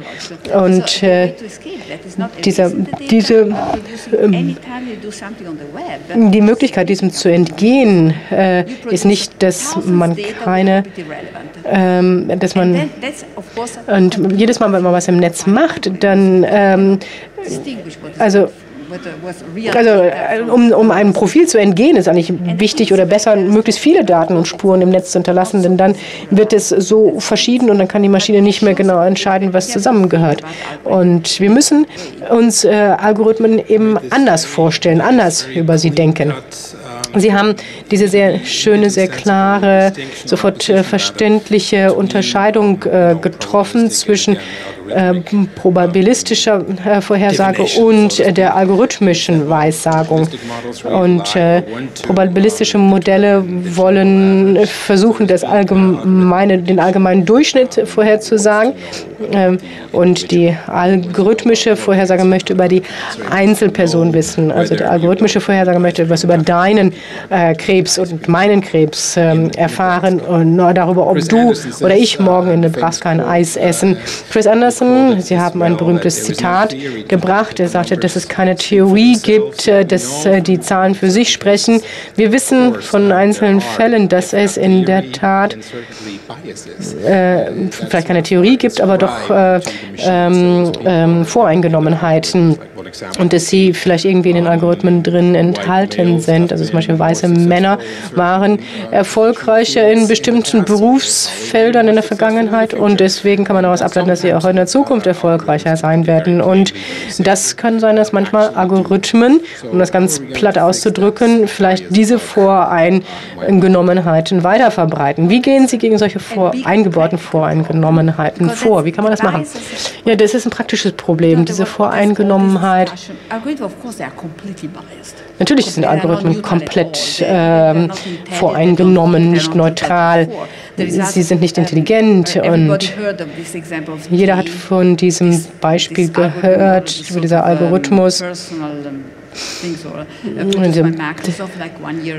Das wurde von Microsoft vor einem Jahr erzeugt. Und es wurde dann nach einem Tag gelöscht, weil das wirklich einfach horrible, schrecklich sexistisch und rassistisch war. Aber, aber die, diese Programmierer waren alle eigentlich Liberale. Sie waren selbst schockiert über den eigenen Algorithmus, den sie geschaffen haben. Und äh, die, also selbst wenn eigentlich der, der Entwurf oder Design des Algorithmus nicht voreingenommen ist, dann kann trotzdem der Algorithmus voreingenommen sein. Wie ich schon sagte, der Algorithmus ist nicht intelligent und äh, äh, sie werden dann intelligent, intelligent im Laufe der Zeit. Äh, so nutzen die Intelligenz des Nutzers und gründen darauf. Also wir Menschen sind ja auch voreingenommen. Das Web ist voreingenommen, Fake News äh, gibt es und auch ähm, Hassrede ist erfolgreicher im Netz. Das heißt, dieser Diskurs im Web äh, ist nicht nur voreingenommen, er ist wahrscheinlich sogar noch voreingenommener als äh, außerhalb des Webs. Wie, wie können Sie erwarten, dass äh, die, die, diese Algorithmen oder diese Diskussion im Web äh, nicht äh, voreingenommen ist? Es äh, gibt nicht ähm, äh, Google zum Beispiel kann sehr nur weil die Algorithmen nicht intelligent sind, heißt das nicht, dass sie nicht kontrolliert werden können. Google kann zum Beispiel durchaus pornografische Inhalte kontrollieren. Und äh, diese Vorstellung, dass Algorithmen äh, voreingenommen sind, das muss einfach als gegeben angenommen werden. Und wir müssen dafür eine Lösung finden. Äh, das ist schwierig, denn wir sind ja auch voreingenommen. Sie haben Google genannt und zwar ähm, und Sie haben dort auch den äh, ähm, Page Rank Algorithmus genannt. Der wird ja täglich genutzt. Der wird nicht äh, von, von, von einem Engine, äh, Software-Engineer geändert, sondern von Millionen von Software-Ingenieuren. Man äh, kann, ähm, kann, man, kann man als äh, Engineer da eingreifen, als äh, ähm, Software-Schreiber. Soweit ich weiß, wird dieser, ähm, die, die, die, dieser, dieser Algorithmus jeden Tag von Google geändert wird und der Quellcode ist geheim und es ist sozusagen eine Art von Katz-und-Maus-Spiel, damit das nicht entdeckt wird. Aber die, diese grundlegende Logik äh, dahinter, nämlich äh, dass der Algorithmus von Google aus dem Verhalten der Nutzer des Webs lernt, das ändert sich nicht. Und natürlich kann man sehr viel machen, um die bösen, die fürchterlichsten Konsequenzen davon zu vermeiden, aber all diese, das alles ist sehr logisch. Man kann dem Algorithmus nicht beibringen, zwischen verschiedenen Arten von Verständnis zu unterscheiden. Man, das, ist das, das ist das Problem. Das kann funktionieren, aber der Algorithmus ähm, lernt nur das, was der Mensch entschieden hat, was der Algorithmus lernen soll. Der lernt sehr gut. Also sie, die, die, die, diese Unterschwelligkeit, das, das ist etwas, was äh, der Algorithmus nicht selbst schafft, aber, aber zum Beispiel sie, sie, sie produzieren äh, sehr viel sinnvolle Dinge, aber auch sehr viel Müll aus den Sachen, die sie im Netz finden. Also dieses, diese Vorstellung von Zeit ist auch ein Punkt. Da haben wir ja schon ziemlich viel von gesprochen heute Abend. Und diese Annahme, dass Algorithmen sozialen Wandel nicht mögen. Können, es ist schwierig für den Algorithmus, äh, das zu berücksichtigen oder äh, äh, dass es sozialen Wandel gibt. Also zum Beispiel eine Retro-Zukunft. Also die, die, die Zukunft ist sozusagen die vergangene Zukunft, so wie der Algorithmus meinte, wie die Zukunft aussehen wird in der Vergangenheit. Und in diesem Modell sind wir ja gefangen in einer Art von Teufelskreis zwischen der Vergangenheit und der Gegenwart, zwischen etwas, was äh, ähm, das, das, ja, das machen wir ja jetzt im künstlerischen Bereich, ist das eine wichtige Sache. Da haben wir sehr viele Retro-Phänomene, auch äh, im sozialen Bereich, im künstlerischen Bereich, sehr viel Bezug auf eine Vergangenheit, die so vielleicht nie bestanden hat, sozusagen ein äh, Retro-Wahn. Also Algorithmen sind ein anderer Antriebsfaktor für diese Retromanie. Äh, die wir ja jetzt in vielen sozialen und gesellschaftlichen Bereichen finden. Diese Sehnsucht nach der Vergangenheit. Sie haben Mode erwähnt und Vintage ist ein ganz wichtiges Element in der Mode. Aber an Mode ist interessant ist, dass Mode immer neu sein muss. Das Interessante ist, ist, wenn man sich Vintage anschaut, dass Vintage immer etwas ist, dass man, das daraus besteht, dass man etwas Altes neu entdeckt. Das ist etwas, das wir tun, aber Algorithmen können damit nicht umgehen. Das Problem ist also, etwas grundlegender. Für Algorithmen ist es so, sie sagen eine Zukunft voraus als eine Art Projektion der Vergangenheit und das können sie sehr, sehr gut. Aber mehr als das können sie aktuell nicht. Ich habe mich unterhalten mit Personen im Bereich maschinelles Lernen und sie wissen das davon. Das Problem Overfitting habe ich bereits erwähnt. Das kennt man in der Community und man lernt sehr viel damit in Algorithmen. Die Algorithmen lernen viel mit Overfitting. Und es gibt einen Unterschied im Bereich maschinelles Lernen. Denn da ist man an, an einem anderen Punkt im Moment. Im maschinellen Lernen weiß man nicht, wie man mit eben solchen Vorurteilen zum Beispiel umgeht. Ein guter Algorithmus ist nach wie vor voreingenommen und funktioniert nicht gut. Das heißt also, wenn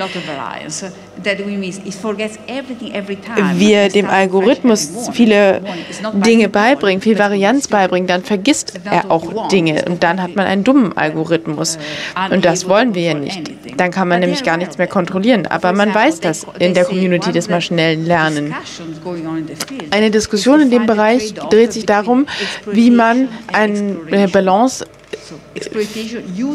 zwischen Nutzung und Nutzung der Daten findet, der Daten, die man hat, aber gleichzeitig auch Varianz einzubringen.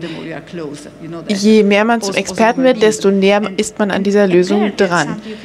Und das ist etwas, was man mit Algorithmen, erst Algorithmen beibringen kann.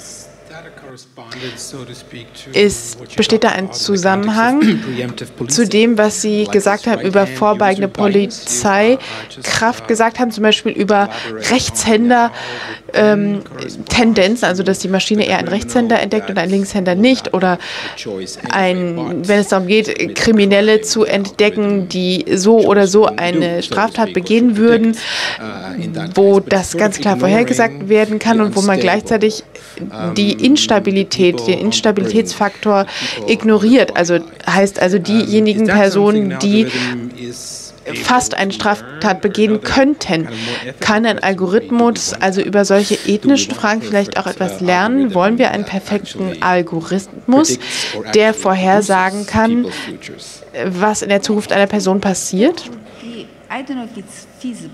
Ich weiß nicht, ob das möglich ist, aber man könnte die Algorithmen nicht verbessern, sondern flexibler gestalten. Das Problem bei dieser Polizeiarbeit ist, dass uh, der Algorithmus nicht falsch oder richtig liegen muss. Denn die Personen, die ähm, als ins Visier gefasst werden, ja, die haben das Risiko, uh, Straftäter zu werden. Denn es gibt da Muster. Das heißt, der Algorithmus ist effektiv, weil er die richtigen Zielpersonen identifizieren kann, aber der Algorithmus ist nicht effektiv auf der Grundlage, aus dem Grund, dass der Algorithmus etwas nicht wissen kann. Denn der Algorithmus Algorithmus weiß nicht, was als Folge seines Wissens produziert wird. Es geht um Personen, die Straftäter werden können, aber und, und dann befasst man sich mit denen und ignoriert andere, die auch zu Straftätern werden könnten. Und es gibt keine wirkliche Vorsorge oder Verhinderung. Deswegen steigt die Anzahl der Straftaten doch. Wir sollten stattdessen daran arbeiten, den den Algorithmus flexibler zu machen. Man muss also den Algorithmus lernen lassen, ob er richtig liegt oder nicht. Und das muss man dann integrieren, damit der Algorithmus von dem, was passiert, nochmal selbst lernen kann und nicht nur sehen kann, ob er richtig oder falsch liegt, sondern damit der Algorithmus auch lernen kann, was auf der Welt passiert, um ihn herum. Dinge, die man nicht wissen konnte, bevor man Algorithmen entwickelt hat. Also es ist eine Frage, ob Algorithmen in der Zukunft einmal ihre Vorurteile verlieren werden, um flexibler zu werden, um zum Beispiel mehr Offenheit zu ermöglichen. Das war einmal ein wichtiger Teil dessen, was die Zukunft in der Vergangenheit ausmachte. Das war eine große Frage, aber es gibt da noch eine weitere Frage, die vielleicht ganz gegenteilig wirkt. Wie kann man eine andere Art, das Problem anzugehen, falls das nicht passiert? Es geht um ein, eine Herangehensweise dahingehend, dass man sagt, man weiß nicht, was in der Zukunft passiert. Man will den Algorithmus nicht vorhersagen lassen oder eine Zukunft produzieren lassen. Und zum Beispiel den Algorithmus nicht entscheiden lassen, was man einkaufen wird. Wäre das eine Option oder müssen wir uns einfach auf die Programmierer verlassen, dass sie die Algorithmen besser programmieren, damit sie diese Fehler nicht mehr haben? Das weiß ich nicht, aber wenn eine Lösung schließt die andere nicht aus. Es gibt zum Beispiel einen rechtlichen Filter und in, es gibt einen Unterschied zwischen den USA und der EU. In der EU verbieten wir gewisse Dinge. Also es gibt hier einen rechtlichen, juristischen Filter. Ich bin da keine Expertin, aber wir tun das in vielen Dingen in der EU, dass wir einen rechtlichen Filter haben, aber bei, und bei Algorithmen auch. Warum auch nicht? Man muss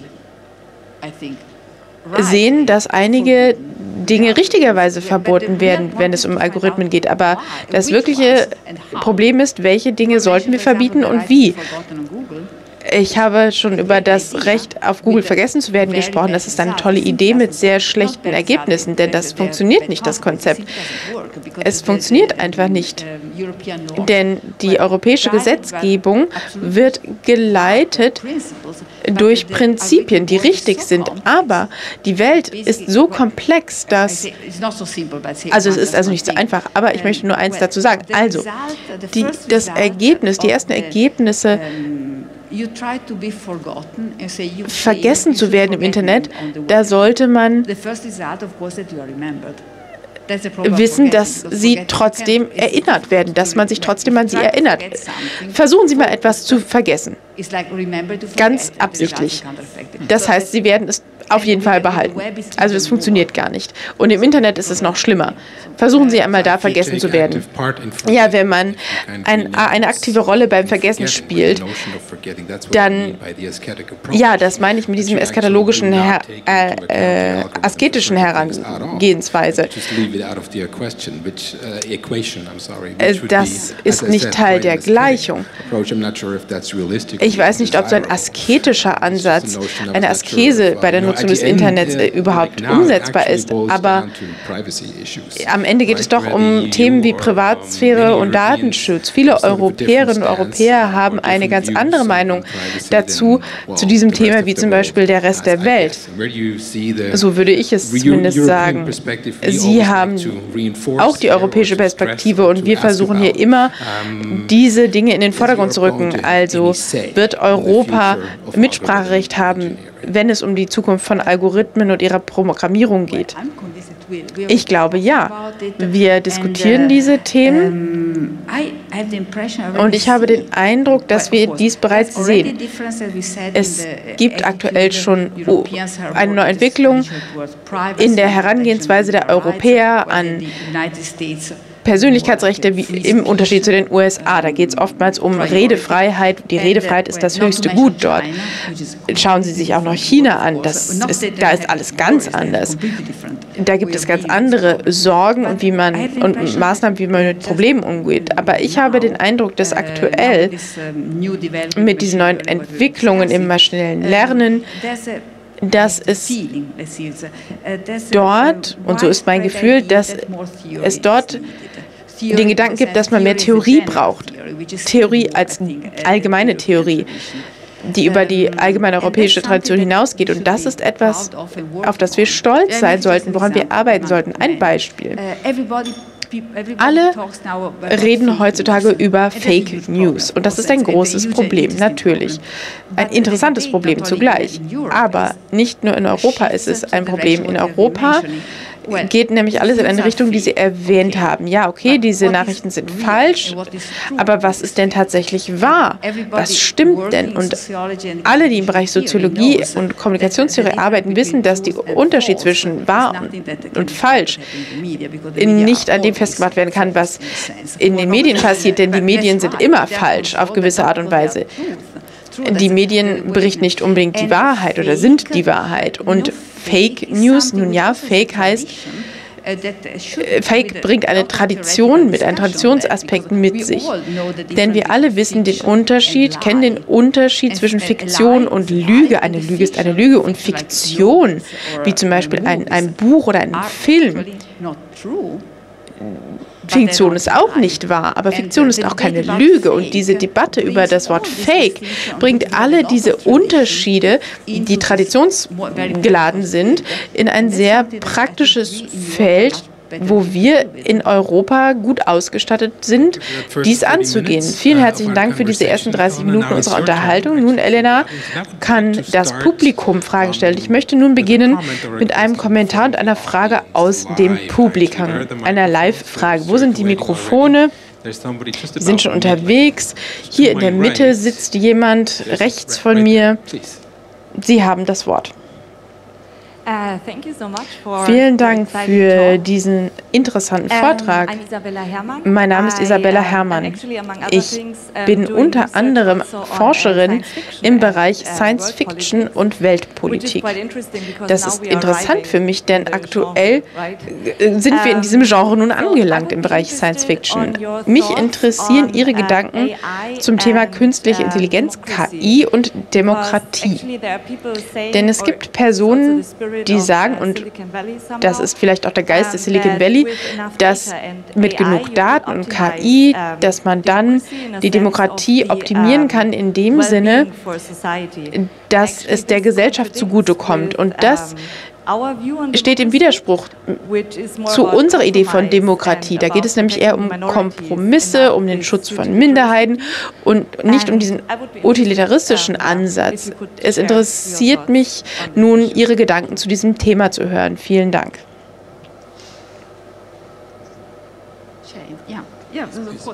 Super, danke. Sie haben sehr wichtige Aspekte uh, angesprochen. Sie haben implizit, wenn ich es nicht falsch verstanden habe, eine, ein Chaos in diesem Feld angesprochen. Es gibt unterschiedliche Interpretationen von Demokratie und das stimmt. Da haben Sie recht. Und das äh, Wohl der Gesellschaft, das ist nicht gleichbedeutend mit Demokratie. Effizienz ist nicht gleichbedeutend mit Freiheit zum Beispiel. Uh, aber die Demokratiedebatte geht in eine andere Entwicklung, in eine andere Richtung. Und da sind auch die USA mit einbegriffen. Das ist ein Beispiel. Verzeihung, es geht nicht nur um das Wohl der Gesellschaft, wenn Sie sich zum Beispiel die Diskussion um die Filterblase angucken. Wenn die Nutzung von Algorithmen in öffentlicher Kommunikation sich verbreitet und die Algorithmen funktionieren, dann werden Algorithmen immer personalisierter und dann könnte es zum Ergebnis haben, dass wir alle in einer personalisierten Welt leben, aber isoliert sind. Wenn die Algorithmen effektiv sind, dann geben sie mir als Nutzer, was sie wollen. und sie gestalten meine Medienwelt, meine digitale Welt gemäß meiner Ansichten. Und das ist nicht gut. Aber wenn ich alleine bin in meiner personalisierten Welt, wenn ich, dann bin ich allein in meiner personalisierten Welt. Die Bedeutung der Demokratie, würde sich das ändern? Nun hat Janet Hofmann eine Frage in der ersten Reihe. Sie haben gesagt, dass Ah, wenn Algorithmen erfolgreich sind, dass sie teilweise die Zukunft generieren, die sie vorhersagen. Und Sie haben das Beispiel Shopping und vorhersagbare Polizeiarbeit genutzt. Ich habe ein weiteres Beispiel im Kopf, das eine weitere Frage aufwirft. Wie würden Sie es erklären, was passiert, wenn Algorithmen nicht erfolgreich sind? Ich habe über Mikro-Targeting nachgedacht, eine neue Technik, wie man Wähler identifiziert die zur Zielgruppe von Wahlkämpfern werden. Im Jahr 2008 und 2012 haben, die, haben Beobachter gesagt, dass Präsident Obama die Wahl gewonnen hat, weil er solche neuen Techniken genutzt hat. Und wir alle waren ganz beeindruckt von der Vorhersagbarkeit dessen, was Wähler am Ende tun. Würden sie mit Ja oder Nein stimmen? Mit wen, für wen würden sie stimmen? Und wir haben gesagt, diese Techniken sind wunderbar, um die Zukunft hervorzusagen. Aber in der letzten Wahl haben diese Techniken nicht mehr den Erfolg hervorgebracht. Und wenn Sie also sagen, Sie produzieren die Zukunft, die Sie vorhersagen, dann sind die Algorithmen vielleicht doch nicht mehr dazu in der Lage, die Zukunft vorherzusagen, die Sie bei der letzten Wahl vorhergesagt haben? Oder gibt es da eine andere Erklärung? Das ist eine tolle Frage. Ein tolles Thema. Obama, äh, Obama hat 2008 etwas genutzt, das man Micro-Targeting nennt, aber das stützte sich nicht auf Algorithmen. Die, in der letzten Wahl wurden Algorithmen allerdings genutzt und Micro-Targeting wurde erfolgreich genutzt. Ähm, Ted Cruz hat sie benutzt in den Primary Elections, in den Vorwahlen und war damit erfolgreich und er hat eine Zeit lang viel mehr Erfolg gehabt, als man gedachte, denn er hat sich des Microtargetings bedient. Es gibt also Techniken, die, wie diese, die immer noch nützlich sind. Aber, wie Sie gesagt haben, Algorithmen funktionieren, aber selbst wenn sie richtig liegen, dann determinieren sie nicht aufgrund des Hintergrundes. So, I'm fascinated to look at how mich äh, fasziniert, wie wir mit den Daten, die wir heute haben, über die Nutzung zum Mikrotargeting,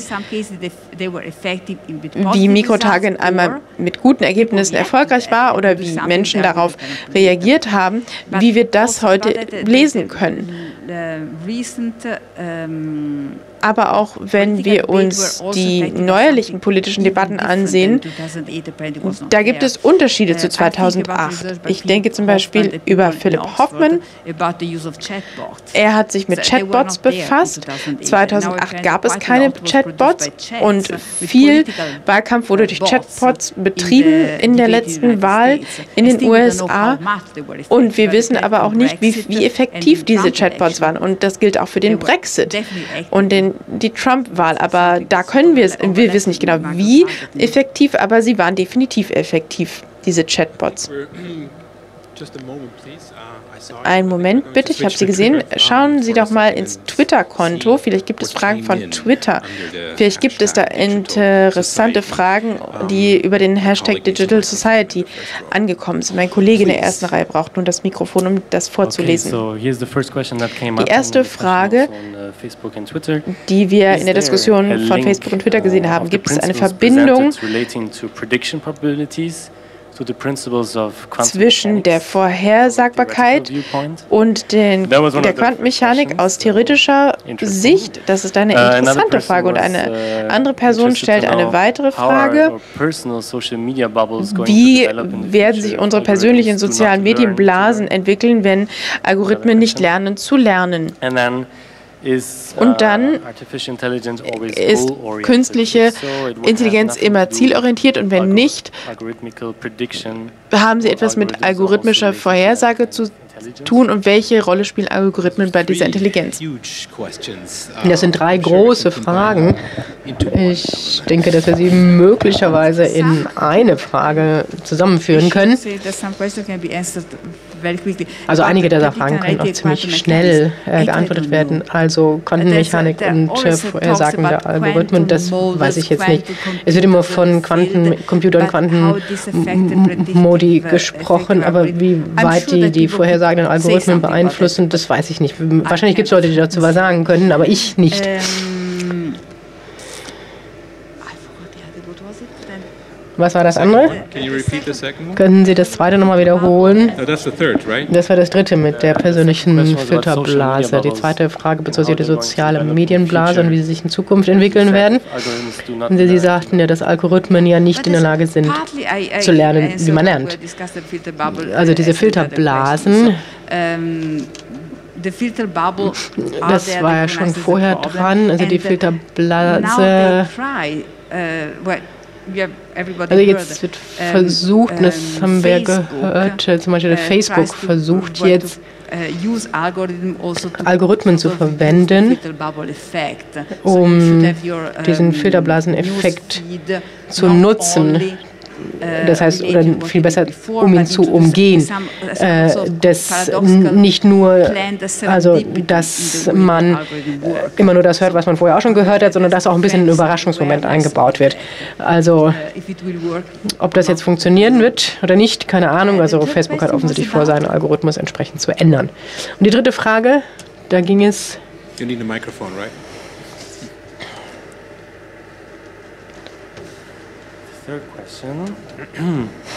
yeah, is intelligence always äh, goal-oriented? Ist die Intelligenz immer zielorientiert?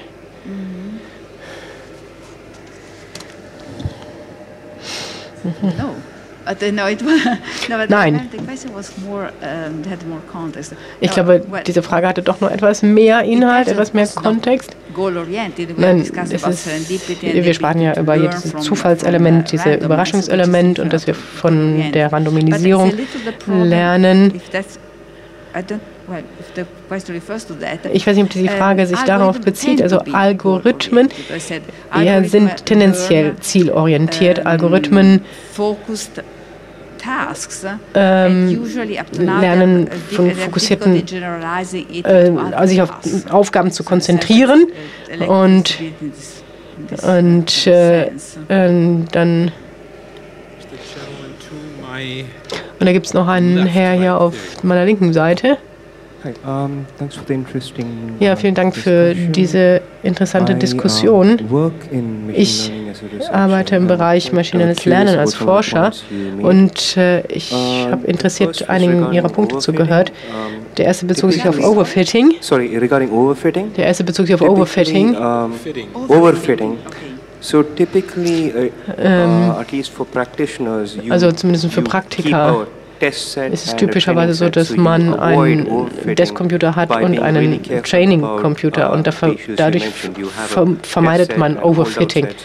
Also, äh, so dass man eben die Leistung beobachten kann in Bezug auf Daten, die man vorher noch nicht äh, gesehen hat. Also das ähm, vermeidet dieses Overfitting. Und bei dieser prädiktiven einer Vorhersage Analytik kein pra Pragmatiker würde sagen, Praktiker würde sagen, ähm, ich äh, sage das äh, vorher oder so weiter, sondern es ist immer das Ergebnis einer Inter Interpretation, einer, einer, einer Deutung der Wahrscheinlichkeit. Also man würde mal sagen, also diese Person wird mit einer 90-prozentigen Wahrscheinlichkeit ein Eis essen in Nebraska. Also das äh, verstehe, deswegen verstehe ich Ihre Sicht dieser Nachteile der ähm, ähm, Vorhersagen und Analytik nicht. Und ich denke, man sollte, man, man, kann, die, die, die, man kann keine Vorhersagen zur Zukunft machen. Und wenn, wenn man, ähm, wenn man äh, Vorhersagen über die Zukunft macht auf der Grundlage von Daten aus der Vergangenheit, dann macht man keine Vorhersagen, sondern es ist einfach nur eine statistische Interpretation, eine Wahrscheinlichkeitsrechnung auf der Grundlage von Statistik. Ja, Overfitting. Ähm, da haben Sie völlig recht. Leute wissen das auch und sie versuchen das auch anzugehen. Es ging mir nicht darum zu sagen, dass das nicht möglich ist, sondern es ging mir nur darum zu sagen, dass die Probleme und die allgemeine Haltung der maschinellen, des, beim maschinellen Lernen was anderes ist als bei der Pro Wahrscheinlichkeitsrechnung. Und, denn, äh, äh, denn wir sind uns dessen bewusst und, äh, und die Leute sind sich auch dessen bewusst, dass sie hier nicht Wahrscheinlichkeitsrechnung machen, sondern dass es um maschinelles Lernen geht. Sie versuchen mit Teillösungen äh, umzugehen. Und sie wissen auch, dass es fast unmöglich ist, die eine Lösung zu finden, ähm, mit der man dann das Problem des Overfitting ähm, vermeiden kann. Overfitting ist immer ein Problem des maschinellen Lernens. Äh, man versucht es zu vermeiden und man kann es nicht völlig beseitigen. Und der andere Punkt, nämlich dass Leute äh, sagen, dass sie äh, behaupten, dass sie mit einer gewissen Wahrscheinlichkeit die Zukunft vorhersagen können. Dass das, ja, da haben Sie auch recht. Aber der Unterschied ist nicht, dass die Leute behaupten, dass sie vorhersagen können zu 100 Prozent, was passieren wird, sondern sie, ähm, äh, das Problem besteht darin, dass die Leute behaupten, dass sie eine gewisse Vorhersagen zu einer Einzelperson machen können, dass eine Einzelperson zu 90 Prozent Wahrscheinlichkeit eine Straftat begehen wird oder ein Produkt kaufen wird oder sich so und so verhalten wird und dass man darauf dann bestimmte Maßnahmen ergreifen wird. Und das würde man nicht machen, wenn man äh, einen Durchschnitt berechnen wird. Also wenn man sagen würde, eine spezielle Person wird mit 90-prozentiger Wahrscheinlichkeit dieses Produkt kaufen. Äh, das hat dann äh, sozusagen äh, performative Konsequenzen, ähm, und zwar viel größere ähm, Konsequenzen, Maßnahmenkonsequenzen, als wenn man nur Vorhersagen zu einem Durchschnittwert machen würde, zum Durchschnitt der Bevölkerung. Sie sagen überhaupt nicht, dass Sie 100 Prozent etwas vorhersagen können, sondern das Problem besteht darin, dass Sie sich fokussieren auf eine spezielle Person.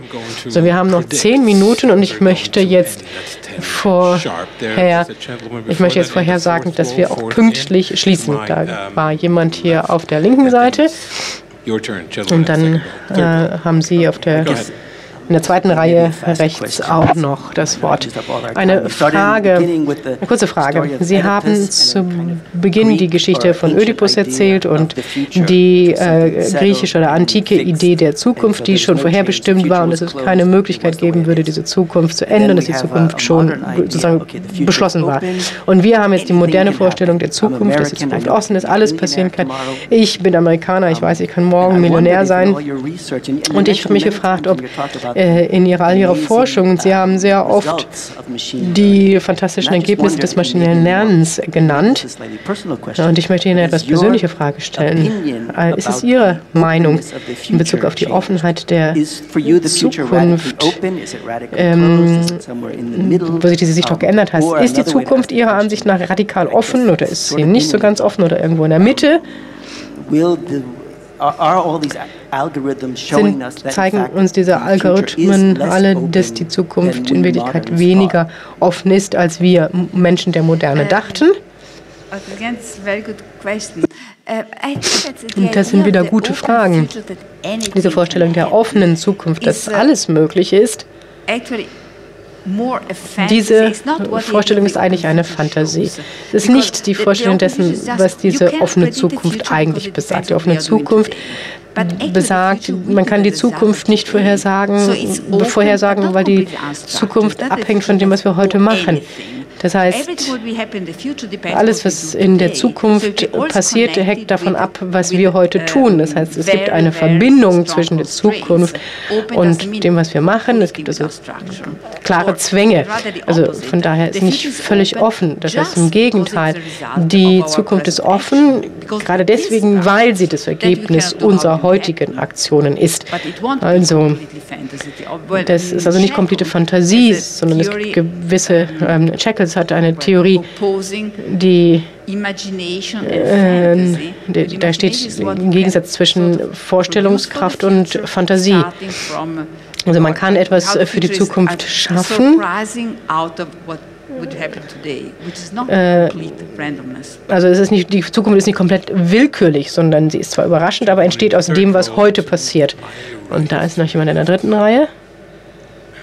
Uh, Vielen Dank für diesen Vortrag der ähm, großen philosophischen Inhalt hatte. Ich bin Alexander Schmees von der Piratenpartei und ich habe eine spezielle politische uh, Frage. Uh, Wir haben zwei Politiker in Berlin, Herrn Heimann und Herrn Buschkowski, die eine komplette Überwachung äh, von Berlin planen mit 24.000 Kameras und auch die entsprechende Software, die vorhersagen kann und berichten kann, wann immer eine Straftat Straftat passiert und das direkt an die Polizei meldet. Was wäre Ihr Rat für diese Leute? Vorsicht. Ich würde nicht sagen, dass diese Dinge komplett nutzlos sind. Aber was wir schon hier gesagt haben, es gibt ähm, ja sehr viele Versprechungen und manchmal sind diese Versprechungen selbsterfüllende Versprechungen. Ähm, ich kenne die politische Situation hier nicht und die politischen Entscheidungen. Diese politischen Entscheidungen hängen ja auch noch so, so viele von anderen Faktoren ab. Also was man immer in dieser Hinsicht entscheidet, seid, seien Sie vorsichtig. There's another question or comment. Wir sprechen von einer digitalen Gesellschaft und ich uh, wäre mehr menschlichen Aspekt dieses Themas interessiert, wie diese ganze algorithmische Landschaft uns äh, äh, betrifft als Menschen. Zum Beispiel die Auswirkungen, uh, äh, hat das Auswirkungen darauf, wie wir denken, das äh, äh, Auswirkungen darauf, wie wir uns entwickeln werden als Gesellschaft. Ähm, also, also unsere Interaktion mit der Maschine wird das Auswirkungen haben und auch auf tiefenpsychologischer Ebene, wie diese Algorithmen uns da ähm, betreffen werden oder beeinflussen werden. Wir schließen hier mit einer wirklich großen Frage. Ich möchte noch nur ein bisschen was dazu sagen. Well, you say, will werden Algorithmen als neue Medien unsere Art des Menschseins beeinflussen? Natürlich. Wir sind immer ähm, äh, beeinflusst gewesen von den Medien unserer Gesellschaft. Wir hängen immer sehr ab, nicht nur von der Sprache, die sozial ist, sondern auch äh, von dem Schreiben, der Schrift. Die Schrift war eine große Revolution, die Presse, Druckerpresse, Massenmedien und so weiter. Das hat immer Auswirkungen darauf, wie wir denken, wie wir über uns selbst nachdenken nachdenken, das hing immer schon von den Medien ab. Und äh, das ist die einfache, grundlegende ähm, Antwort. Natürlich werden Algorithmen uns ändern. Aber das ist nur natürlich und etwas fokussierter mit Algorithmen. Da gibt es diese ganze Diskussion über diese Turing-Tests und die äh, Ähnlichkeit oder Ähnliches und dass wir uns bewegen in eine posthumane Gesellschaft. Äh, denn zum ersten Mal ist es das äh, Privileg der Menschen. Äh, bisher war es immer nur das Privileg der Menschen, Informationen zu sammeln und zu ähm, äh, analysieren und zu verstehen. Und jetzt übernimmt diese Aufgabe auch die Maschinen und dass das eben auch Auswirkungen, tiefgreifende Auswirkungen auf äh, unser Menschsein hat, als frühere äh, Medien das haben konnten. Und äh, viele sprechen auch von der Hybris. Und meine, ähm, ich interessiere mich nicht für Turing-Tests und ähnliches. Turing-Tests, da ist eine Maschine, das ist eine Maschine, Maschinen schaffen immer den Turing-Test. Die bestehen das immer. Und äh, Maschinen kommunizieren oft mit Bots, ohne, wenn wir zum Beispiel, Menschen kommunizieren oft mit Bots, äh, ähm, ohne das zu merken. Zum Beispiel, wenn wir äh, Flugtickets buchen oder ein Videospiel machen. Und manchmal sind vielleicht einige unserer Partner sogar Bots und uns, wir stellen es äh, nicht fest. Und ich denke mal, so Digital Natives, äh, denen ist das sogar egal. Und und das wird weiter so gehen und das macht mir keine große Sorge. Zu der Rolle de, des Menschen. Ich hatte den Eindruck, und die Diskussion zeigt das auch, dass die Rolle der Menschen anders, aber grundlegender bleibt. Ich hätte, ich hatte nie das Gefühl, dass äh, bei Hybriden äh, Menschen mit Algorithmen gemischt werden. Das war mal bisher getrennt, denn Algorithmen sind intelligent nicht, weil sie ähnlich wie wir sind, sondern weil sie eh, im Gegenteil eher anders sind als wir.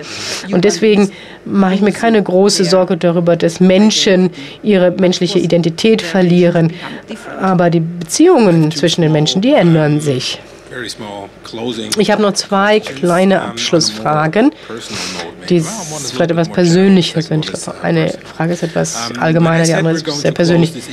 Wenn ich sagte, dass wir heute Abend um 10 hier schließen, dann wusste ich, dass das nicht richtig sein würde. Ich habe hier meine eigene Nachlässigkeit äh, berücksichtigt. Ich ähm, bin Schweizer und drei Minuten Verspätung ist ein großes Problem für mich, aber ich habe jetzt gelernt, damit umzugehen. Mein eigener biologischer Algorithmus hat hier eine richtige Vorhersage gemacht, obwohl ich hier in der Öffentlichkeit darüber gelogen habe. Müssen wir den Algorithmen etwas lehren, was sie selbst gut nicht können, nämlich unpräzise zu sein, nachlässig zu sein und Fehler zu machen, schlampig zu sein? Ja, sicher, aber das ist ein altes Problem.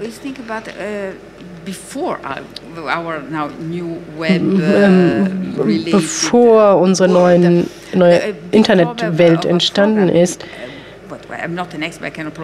ich bin keine Expertin im Programmieren, aber da gab es früher so randomisierte Generatoren, wie Maschinen ähm, wir erwarten nicht, dass eine Maschine eine Überraschung macht. Wenn eine Maschine uns überrascht, dann sagen wir, dass diese Maschine kaputt ist und nicht diskret.